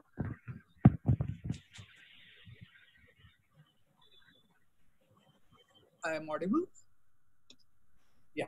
So basically uh, you know we we have all heard of pubmed and you know we all the first thing that we do when you know we are researching on a topic is we either do a google search or you know these days uh, we do a pubmed search.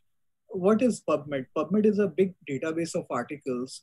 It has over 25 million articles which have been indexed into its database uh, journals have been, you know, indexed in PubMed from all over the world.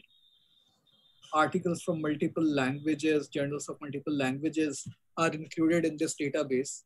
It is very user friendly. Often you get links to full text articles, which are often free. So, you know, once you have identified the right article, you can go and access full text very often.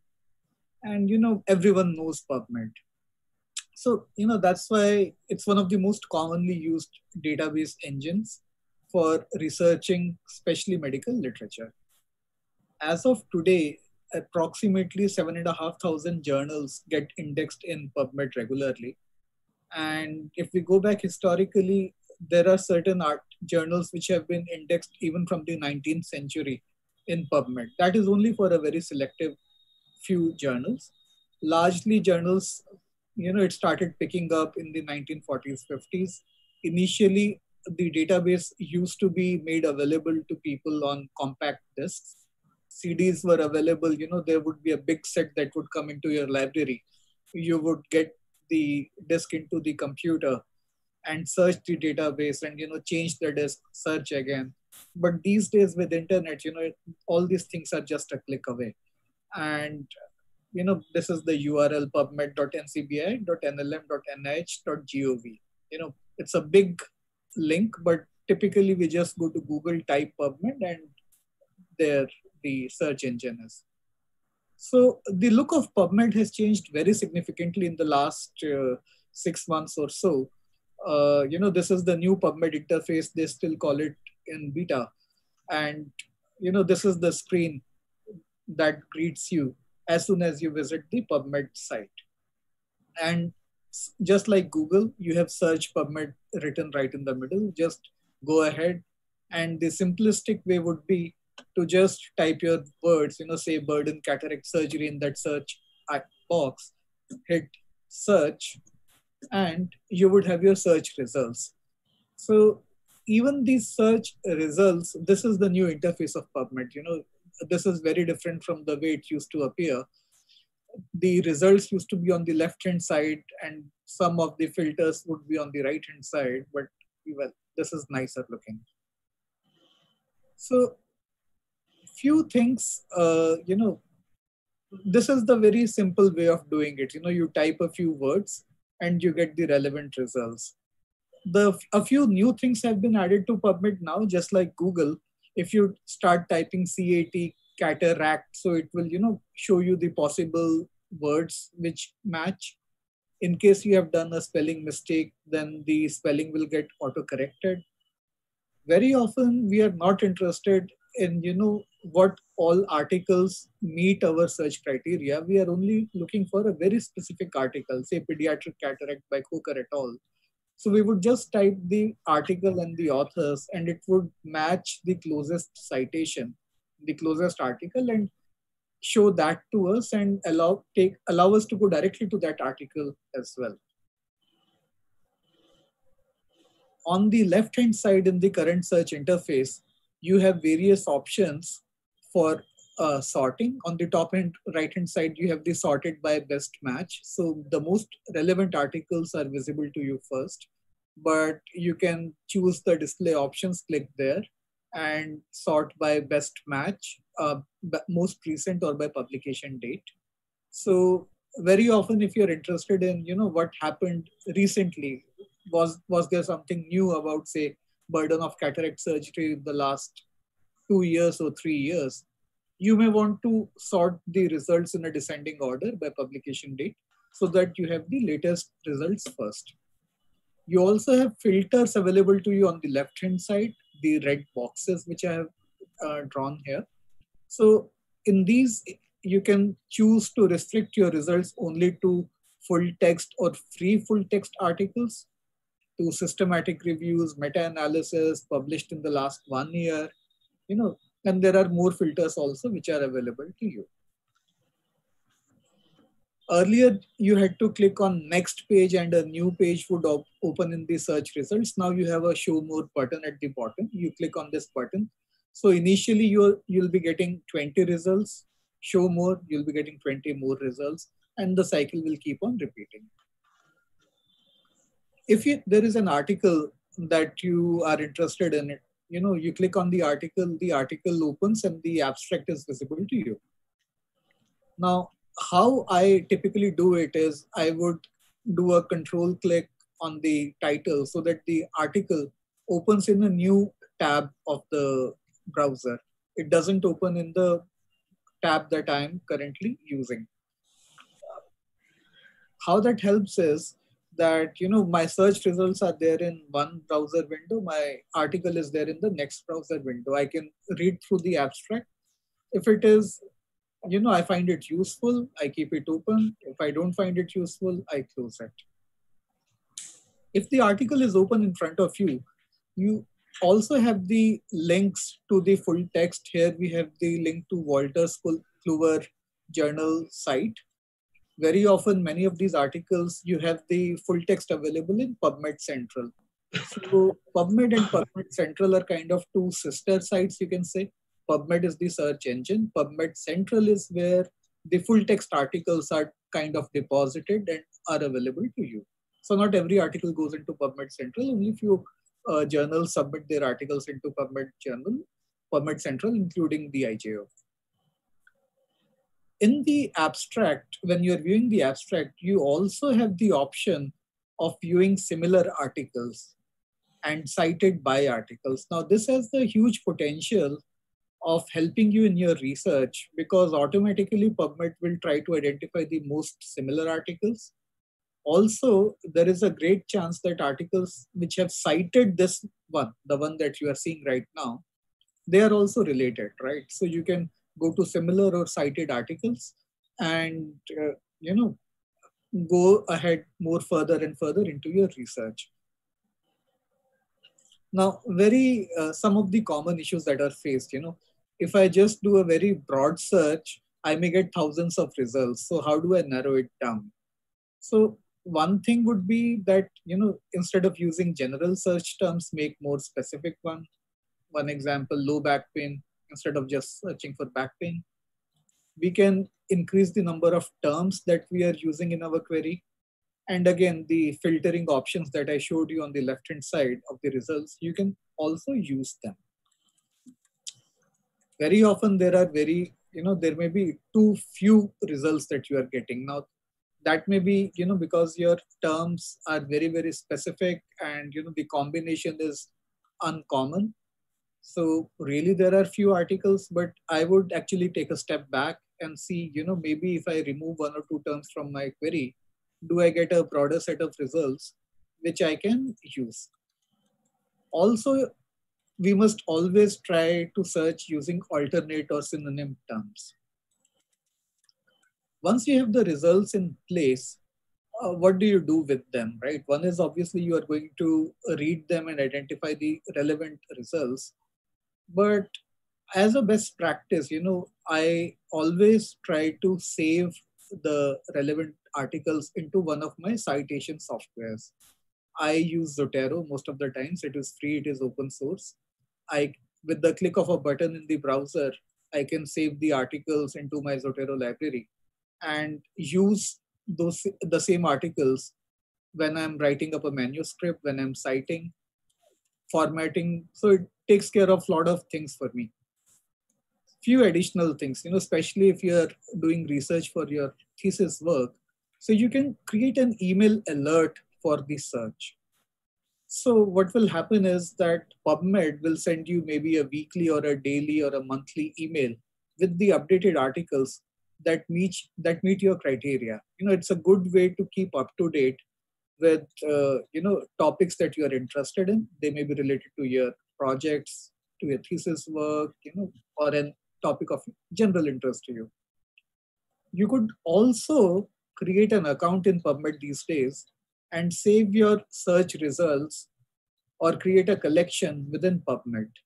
So, you know, the next time you go to PubMed, you can just go to your results query and rerun the same query again, get updated results, see the citations that you have saved. And there are many other options which are available to you as well.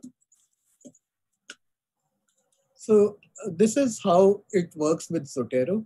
So I have the article open on the left hand side.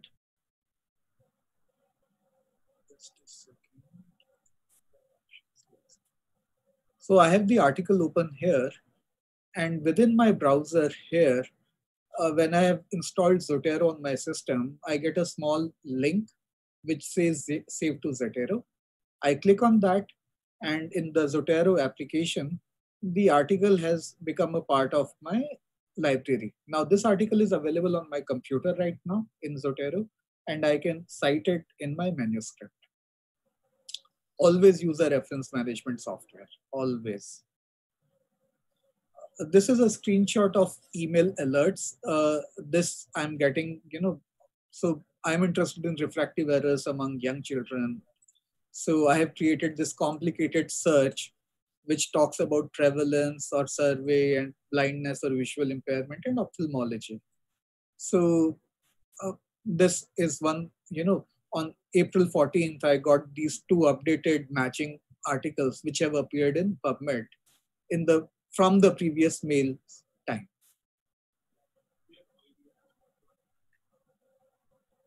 That said, we can create very, very complicated queries as well. You know, one example of the query you saw here in the search, you know, when you have, you see all these brackets, ands, ors. So let me show you how to do it easily.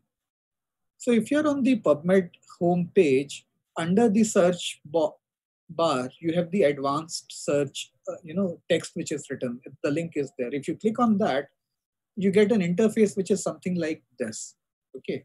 In this interface, first of all, you can choose, you know, I want to see, say, for example, articles which have been authored only by, say, Murthy et al. So author Murthy. Okay. Once I have, so I select the criteria, I say I want author to be Murthy. And then on the right hand side, I can add that criteria to my search. So I can say add with and. Then I can go ahead and say, I want to search for cataract, but it should only be in title and abstract. So from the drop down here, I'll select title abstract and the term I will add cataract and I'll say add with and. I want to say that I want articles which were only authored after 31st of January 2018. So I choose date create. I put the date. So I'll get two options, date from, date to. So from date, I'll put it as 31st January 2018. End date, I'll put today and that's it. I again will say add with and. So as I keep adding my query parameters, so this query box below will keep on getting updated. And thereafter, I'll just hit search and that will give me results with these query parameters filtered. So here, you know, with all that query which I had created, I have got only eight results. So this is a good way if you want to restrict your, you know, search, you go into advanced search and, you know, create visually your uh, complex advanced query. As you can see, you can combine uh, searches using AND and ORs. The other secret to advanced PubMed searching are using tags. And one of my personal favorites is the title abstract tab. Okay, so uh, you know if I'm interested in cataract and burden, so there is very high likelihood that the article would include both these terms either in the title or in the abstract. So I'll create a search cataract. After that, I will write within square brackets TIAB, title abstract.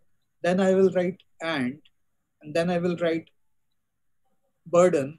Again, within square brackets, I will write TIAB.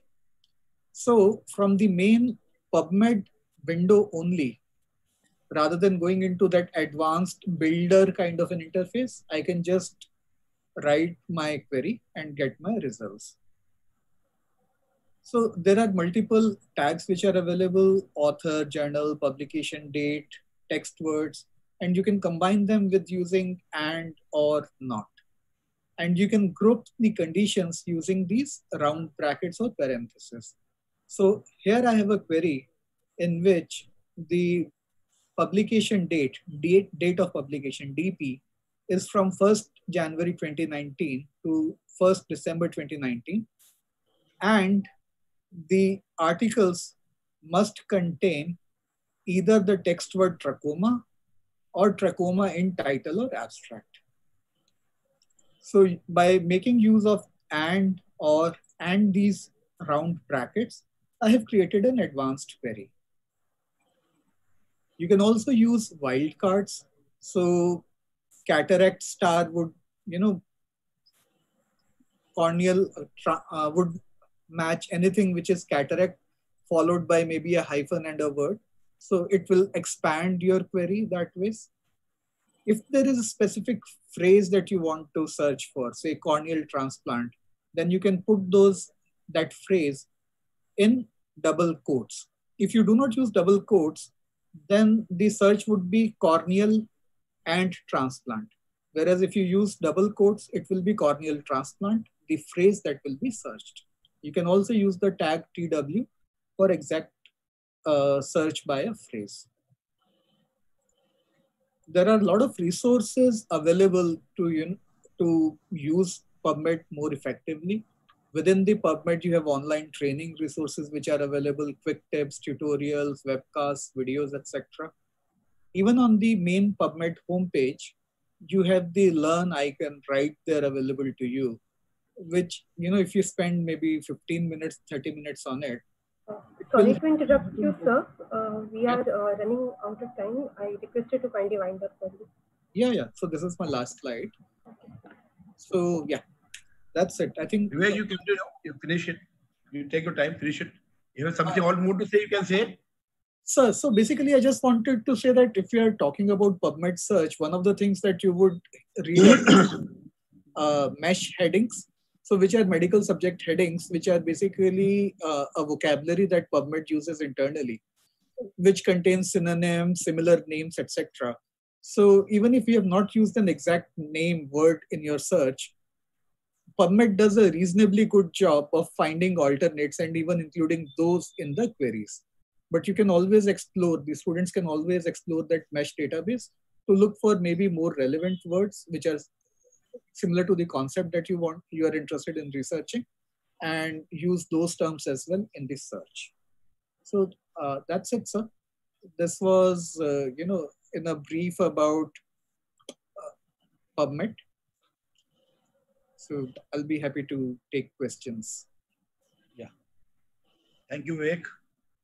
So thanks to all esteemed faculty for enlightening the students and and moral boosting them for preparing for the exams and giving them the tips which you have learned on lot of years of your hard work, 30, 40 years hard work of teaching experience.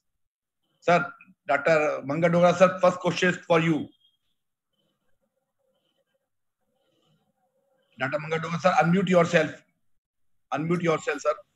Yes. PG is asking you, sir, I realize that time is of importance and concise answer are where to go, have you told. Some of my teachers have said, longer my answer sheet, the more marks I will get. is it true? Well, I think uh, that's not true. Uh, I must say that. Uh, you see, we have a very uh, uh, long experience of uh, going through all the notebooks from the biggest institution like uh, maybe all India Institute, RP Center to a, uh, uh, smaller medical colleges. So nobody is reading the entire, you see, question, the answer sheets. So that's why I mentioned that if you are more concise, you are bold, you have drawn a nice diagram, and you have highlighted, I think the chances are that you're going to get good marks and you're going to definitely pass. But in case you write what you said, uh, so many pages and fill up so many things, and they may be not relevant, and at times they are also at the expense of not uh, answering the questions later on properly. So I would say, I think what is required is that you be more concise. And if you are concise and you look at those aspects of making drawings, enumerating important points, underlying them, and labeling, uh, I think uh, it, it, goes a long way. I totally agree with you, sir. My father has been a teacher, as, a professor, and a principal. I used to see him checking the copies. In five minutes, he checked one copy. I asked him, "Their student has written 20 pages. How can you check in five minutes?" He tells me, "I can judge from the in the five minutes what he has written there." So if you have concise answer, you have made a diagram, flow charts, diagram illustration, that one page will be more than sufficient than your uh, answer sheet of 10. But if you don't know, there's a tip that Dr. Dogra will not tell you. If you do not know the question, much question, then you can write as many as paper sheet, just to confuse the teacher. yeah, don't know the question. that's, that's, that's Santosh. One question for you. Sir, you are asking question to Santosh sir or I will ask? Dr. Santosh, one question for you. If there is there, Dr. If there is an article ready for publication and then I find a mistake in it as it is going to print, what should I do? You can correct it even up to the stage that it is printed, it can be corrected. And if after getting printed, it, if you find an error, you can always uh, issue an erratum, which will be published in the next issue of the journal. Okay, sir. Sir, another question for you. If my article uh, gets rejected once, so how can I uh, can I resubmit it to same journal? Not to another journal, yes, not to the same journal. And sir, what is the difference between the paid journal and the IJO? Because IJO is also charging the fee. Which journal? What is difference between the paid journals and the IJO? Oh, okay, IJO predatory journals. Yeah, yeah. There are predatory journals which uh, run by charging people for publication. Those are called publication fees. But IJO is mandated by the AIOS. It is in the AIOS constitution that we should charge for color reproduction. So if you have a color image, that has to be charged by IJO because IJO runs on membership money. IJO does not have any income at all except by advertisements that companies give and the membership money that uh, individual pays to AIOS. IJO has no source of income. So for color printing, IJO charges money, which is very modest. In fact, what we charge is charged in dollars for international journals. We charge in rupees 70 times less. And so one more question for you. That's Dr. Sahiba. Can a prevalence study be published? Yes. Without without statistical analysis? No, nothing can be published without statistical analysis. It has to be duly. In what sense can be article be published without statistics? Case reports, case photo essay, ophthalmic images, or a short case series of five, six cases. Santosh sir, one more question from our special invitee, Srishti. Srishti, can you unmute yourself and ask question to sir? Yes. Uh, actually, my question is for Dr. Santosh, sir. Yeah, tell me. Sir, which which would be which would be the best article for residents, uh, budding ophthalmologists like me, to start with? To read or write? Write, sir. To write, okay. Case report, easy. Photo essays, ophthalmic images, very easy. If you see something very good, slit lamp image or a fundus image that, you know, if it's rare, if you make a small story out of it, absolutely fine something that involves a systemic disease. If you find an ophthalmic condition in a patient who has a dermatological disease, so that association is something that you can easily bring out. And all your theses can be published if it's done well and written well. Santosh, how can we motivate the young generation to uh, in the writing the in the journals and everything? I think they should realize it themselves because it has value addition, um, which is very significant. You know, if some you have you have to tell them, Santosh. Do you have to tell them importance of the publication in their journal when they are going for the fellowship? Absolutely, it is not just fellowship. It is even when they go for their first job. People look at your CV. You know, especially in an academic institute or you can ask Deepak, you know, it's very difficult to get a promotion in a government setting without uh, having articles. Similarly, to get into a government job for that matter, if you want to become a lecturer or an assistant uh, professor, with after everything else that you have, publications count a lot. Fellowship, of course, it counts a lot. If you uh, apply for a, a kind of a travel grant, you know, APO travel grant, your CV matters a lot. So everything beyond residency CV matters a lot. And the only way to add authentically to your CV is to publish. Deepak, I will like you to add it because Deepak is the youngest person here who is getting promotion very fast. So he should, should tell him how he's getting the promotion, what he is doing for in journal publication, etc. Deepak. Don't tell other things, just the publications. As sir is saying, as per the MCI rule 2, publication is mandatory part because it is the part of our essentiality if we become if we didn't fill our essential criteria then didn't be screened or um, for the interview? So interview is the second step. First step like practical. Practical is the second step. First is your viva first is your theory of the dnb similar is first you have publication so that you can fulfill the screening criteria then you will be selected in any interview. Santosh sir one last question to you there is some question from Neelam Verma. She wants to know how I become an editor, member of editorial team. Well, uh, it is, see, first is that if you have to be a member of the editorial team, then you have to be a good reviewer. Reviewers are also assessed.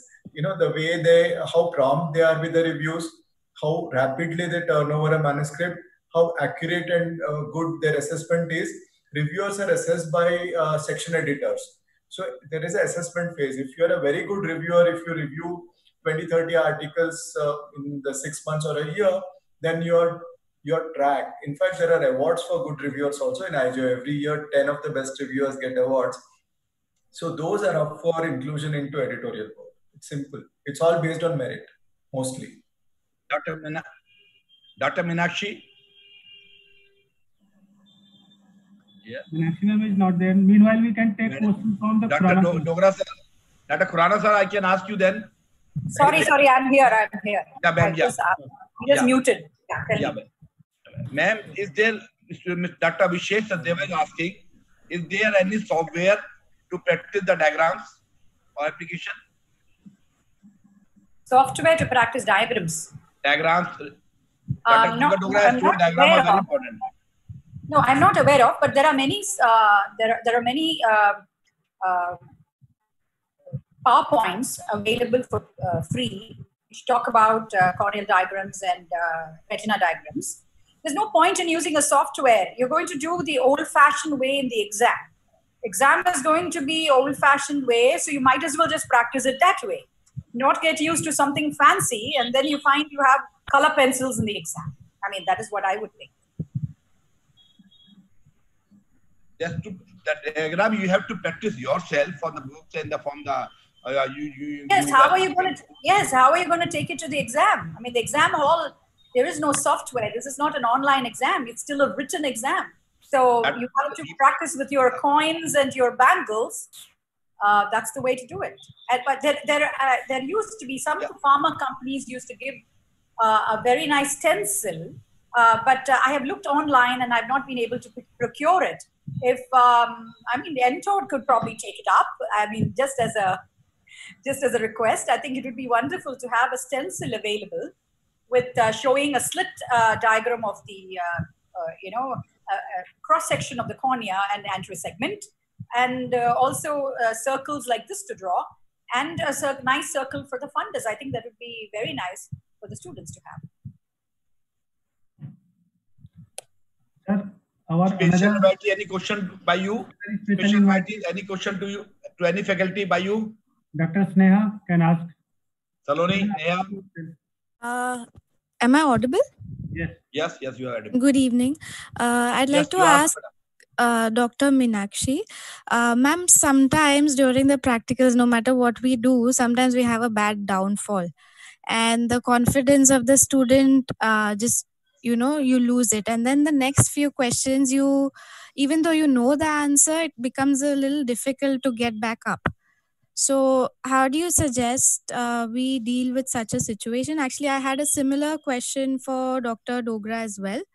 Um, how to basically how to approach the never heard questions in theory and in practicals. Dr. Dogra, you you want to answer first? Do you want to answer first? All right. I think uh, you may encounter such a situation once in a while, especially when something uh, which has come up new or is something in the recent advances where perhaps it has been missed. So, and there, I think that's why I said you have to be doing all your questions, right? Uh, like if you start with the best questions and you go to that one last, you are not going to, if you suppose get OCT angiography and you don't know ABCD of that, don't write something which is uh, totally off the track. So that is not a good thing. But what you can do is that you can keep such a situation to the end. And if you don't know anything, then it's better to leave it. But otherwise, most of the time, uh, I think even if you have a little bit of an idea what we have seen and I have experienced, that in the last couple of questions, you might have just about three, four, five lines written there. But if they are relevant, uh, we tend to give some marks. Of course, if it is totally relevant, then one is going to get zero for that particular question. So that can happen. Yes, Meenakshi. So uh, coming to uh, practicals, couple of things. So one is, uh, I'll give you an example. Uh, for example, if you're asked about uh, my earlier case that I presented was a ptosis, and if you're asked, why do you want to examine the pupils? And just imagine that you're completely blanked out of the word Horner syndrome. It's just not coming to you. So sometimes it is nice to, uh, and, and already one or two questions you have not answered, perhaps. So it's a good idea sometimes to steer the examiner slightly towards something that you know. For example, you can always uh, answer saying, uh, in oculomotor palsy, uh, you know, it's important because we divide it into pupil sparing and pupil involving. And then a lot of examiners love these, uh, these areas to question. And so they can just then follow that path and you may have es- escaped another, uh, you know, bottomless pit that perhaps you were dropping into. That is one. The second thing, like I again told you, you know, long silences uh, you know, and fumbling around sometimes does not help you because see, everybody has allotted a certain time by which you have to finish uh, the viva. So if you are totally clueless, if community ophthalmology question and you're just clueless, just say, sorry, I'm, I'm not sure. Go on to an, something else where at least you'll be able to answer. I think that is a, a that's, that's a good way to uh, make things go towards you. Thank you, as she has rightly said, that whenever you do not do any answer, try to keep the attention of the uh, your uh, teacher to the other direction, but never lose your confidence. You should mentally prepare that some questions will be asked which you don't know. So one thing, good thing is keep smiling. Do not show the examiner that you are losing your confidence. You don't know anything. Just keep smiling. So she will or she will ask you another question because always teacher want to see your confidence. They know that you know, you can't know each and everything. Even we can't know everything. So it is not to lose the confidence. Just keep confidence yourself and keep smiling and wait for the another question to come. Next is Dr. Tina. Another, you can ask your question. Any other station where Sonali, Am I audible? Yes, yes, yes. Yes. Sir, uh, I'd like to ask a question to Khurana, sir. So what are the aspects and questions should a resident be familiarized in biostatistics? Like in DNB, we regularly get questions on biostatistics. Khurana, sir? So basically, yes, sir. Basically, all basic statistics we should know because we are doing one thesis, we become well conversant with this. So sometimes practical examination, this may be asked, or sometimes there may be small note on that. So basic, you should know all what is p-value, what is the t-test, what is fair t-test, what is Pearson coefficient. Common things at least you must. Detail, it may not be must that if you don't know, but common statistics must be known. What is incidence? What is prevalence? Sometimes we are not able to even differentiate what is incidence, what is prevalence. Then it becomes very difficult in the examination. And I also want to say something about the publication to the residents. And uh, here I will like to tell them that the thesis is most important. If they really work during their thesis, they can get two to three pub good publication from the thesis. And then they have a good moral boost up. Here I will also like to say, sometimes I always say it is just like a marriage. The teacher as well as the students, if they both are proactive, then you get very good article and from the one thesis.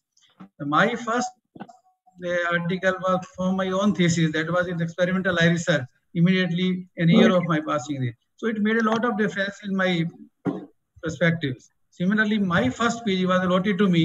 We had four articles from his thesis. One was in the International Journal. So thesis is a time when if you really devote time, you review the literature also, then you learn the statistics also. So thesis should not be taken lightly, basically. But some students think they don't want thesis, it is of no use later on. But I will say they must concentrate on thesis and work hard on thesis. And this will pay them long in academically in their life. This is what I want. Sir, one question is for Dr. Ajad, sir. Ajad, sir, kindly unmute yourself. Yes, yes. Sir, my question is to Dr. Ajad, sir. I am the third year resident and if sir is my examiner and I have allotted a case of ROP, how can I face him? Uh, see, um, in fact, I was going to say that there are different kind of examiners. Everybody has talked about the student. Look, this is what students should do. This is what we should not do. You know, picking up the thread from the discussion. You know, and uh, as uh, one of the students said that I, when I appear in the exam in the theory, uh, sorry, in the Viva exam, and the examiner is asking a question, and I do not know, and then what should I do? And then somebody said that you should divert the examiner. It's not easy to divert the examiner. Everything depends on what kind of examiner is there. Sometimes there are normal examiners. When the normal examiners are there, like if I am there, if I have to ask question on ROP, I will ask the basic things. I will not ask you whether anti-VEGF is used or not. I will ask you what is retinopathy of prematurity, whether it is a developmental disease, whether it is an anomaly of the vessels, where there is prematurity there. I mean, simple questions, you know, I don't want you to know everything about retinopathy of prematurity, especially on the, the, you know, on the, on the side of management. But I definitely want you to know what the disease is and how you will diagnose. You may not be able to diagnose, but at least tell what are the points in the diagnosis. So it depends on the examiner. No, some good examiners are there, normal examiners like me. If I go there, my intention is not to fail the student. I will never fail the until and unless the student is herself or himself not capable to pass. This is my first method. So that is what you know. It is the it is the examiner also which makes a lot of difference. If somebody is fumbling, somebody is stumbling, what I do, I say you or somebody is nervous, you go and sit there. You go there for 15 minutes, and in the meantime, I'll examine the another student, and then you come back to me. So that should be the attitude. The idea should be to examine the student, that the student has a knowledge on the subject so that he can practice it outside. That should be the idea. And here I would also like to say there are some cranky examiners. The basic idea of examination is to test the knowledge of the student, not that the examiner should show his own knowledge. His knowledge, he has his own platform where he can share it with his own colleagues. So this, this, this, these are the problem. This, this problem is there. The student should be examined to his knowledge, which is required at that point of time. This happens also in the presentations. When we go for the presentation, the presentation should be only to the subject and what level of audience is there. If I have a PG student, I'll talk about the PG level. If I have my colleagues with me, I will talk about the research and the recent developments. So all these factors are very important. And if I have to conclude this session, this was a wonderful session, but I, I would still like that little pruning is needed in this session so that we are more, you know, objectivized. Because if we are more obje objectivized, the students will learn more. You know, I was thinking when he was talking about the PubMed, I was thinking, what is the use of PubMed for these postgraduate students? But there is a use. There is a use. And what is the use?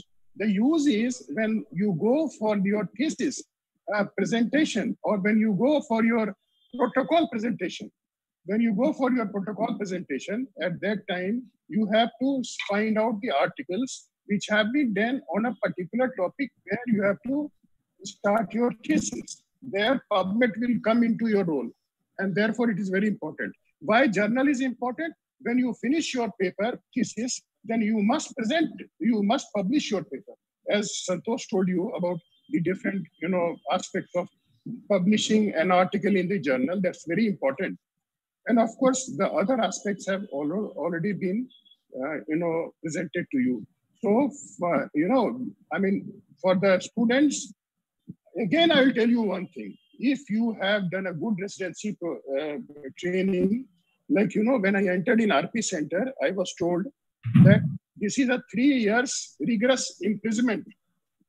I was told that this is a three years rigorous imprisonment. And truly, it is a three years rigorous imprisonment if you have done well, if you have, you know, seen cases, if you have worked in hard in the wards, if you have attended all the lectures, there is no reason, no examiner in the world will fail you and you will, you know, come out with the flying colors.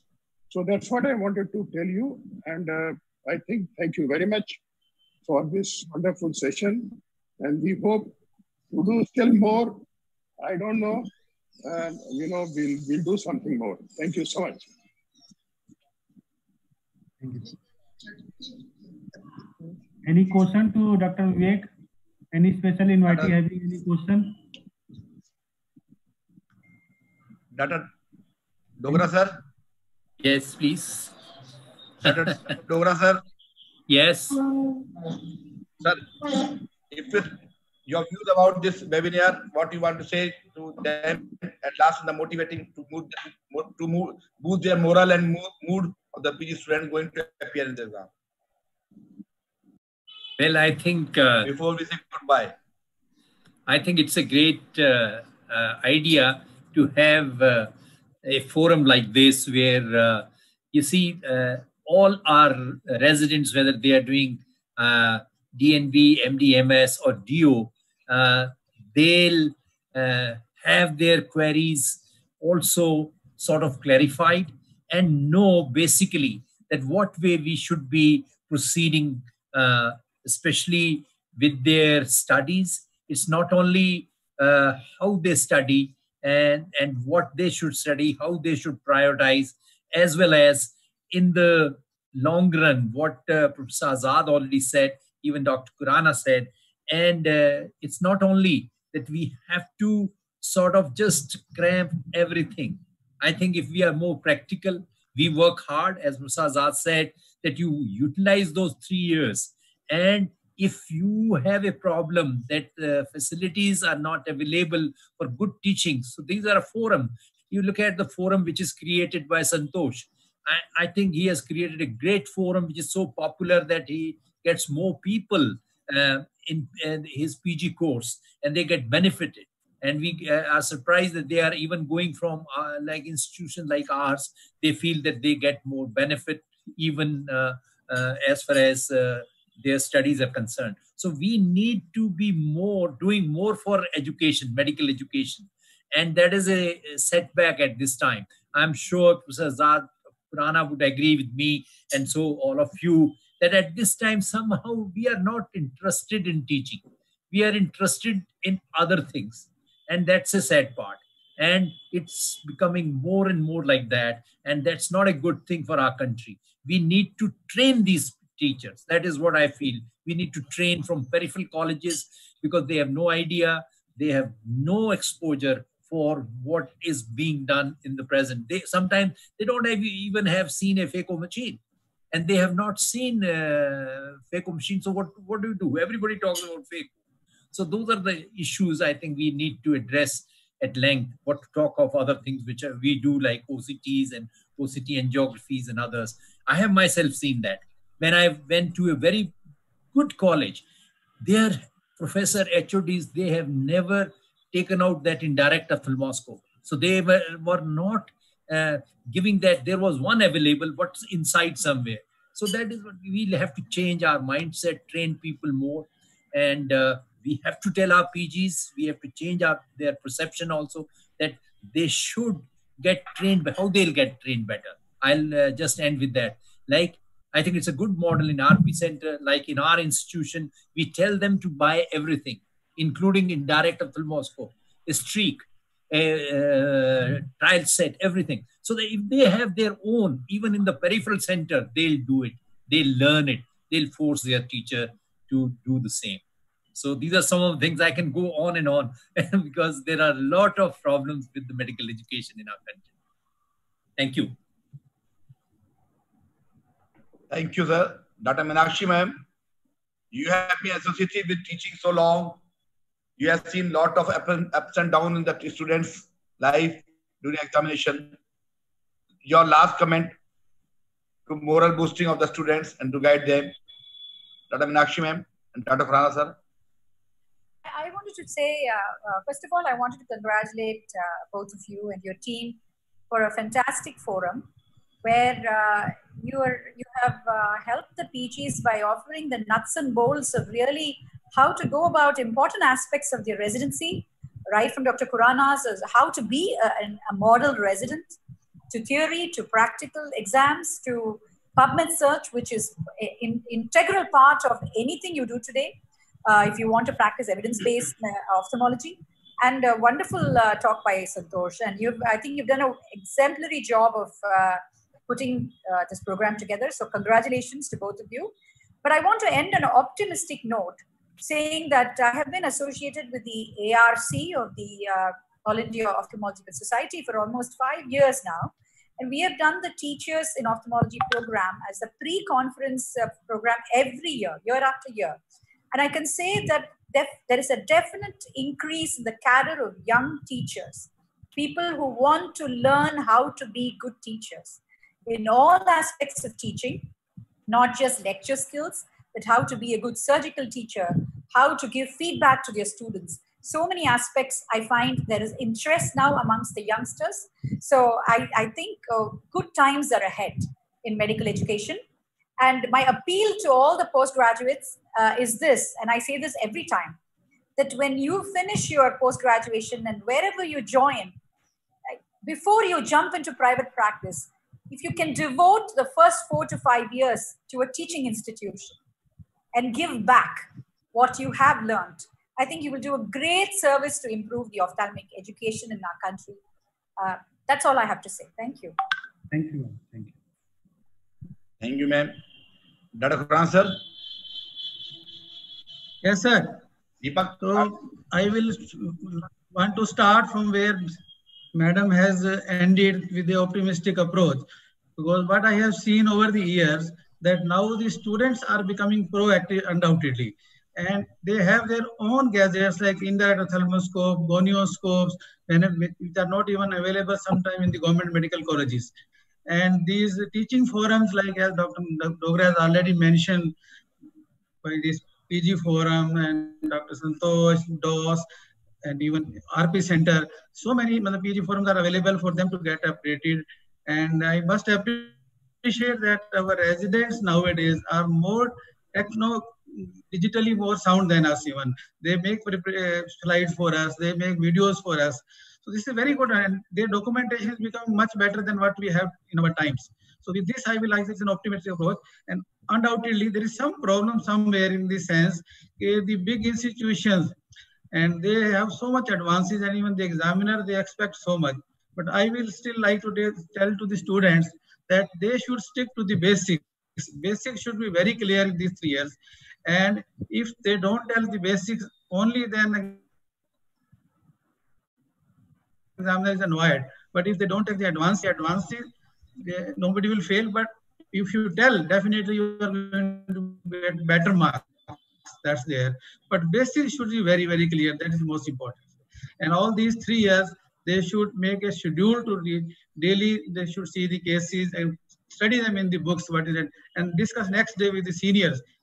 What was the problem in this case? So I think the future is rather very good we there's a lot of exposure to the students everywhere google is also full of that so many videos we never saw video of the surgery and now you can just see the video and you can start doing yourself also so a lot of avenues are there for the student they should be very happy and lucky but at the same time they have very tough competition also so thank you very much for asking me to speak thank and it was a wonderful webinar you, sir. Definitely you. very useful for the students thank you. thank you sir our efforts of making this pg forum deepak may was the same we are not the alternative to the books, but we are the guide. We are bound to become the guide to the students, where we can guide them what is right for them, what is wrong for them, where they should approach, how they should approach. The aim of this platform is the same. That Santosh, you have a vast experience of the association with postgraduates. What do you like to guide them? Sir, sir is not there. Sir has moved for some urgent work. I think Dr. Vivek, your views on this webinar? Uh, sir, I think these webinars are excellent and these are a good way to reach out a large number of students across the country. And uh, it's a win-win situation for everyone. And, you know, kudos to you and to the team for taking the lead and initiating them. Thank you.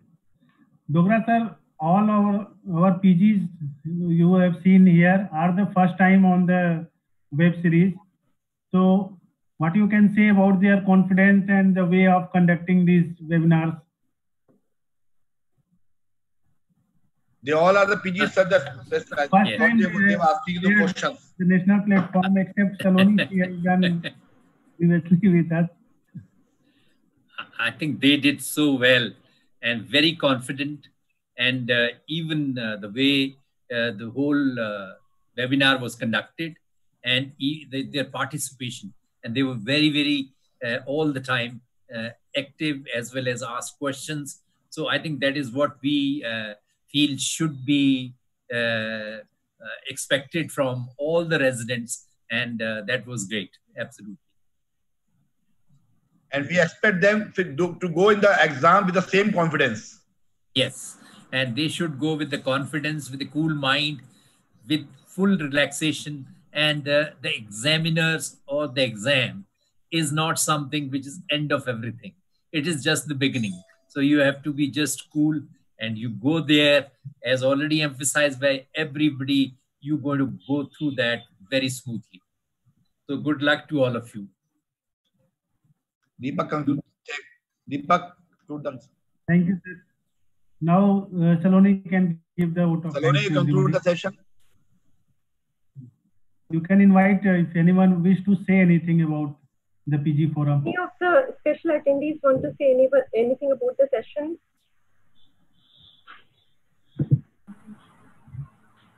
anyone having any question or wish to say I anything? Just, I just like to thank uh, PG Exam Forum for this opportunity. And uh, like everyone said, the stalwarts of Ophthal were here, but I'd rather call them our role models.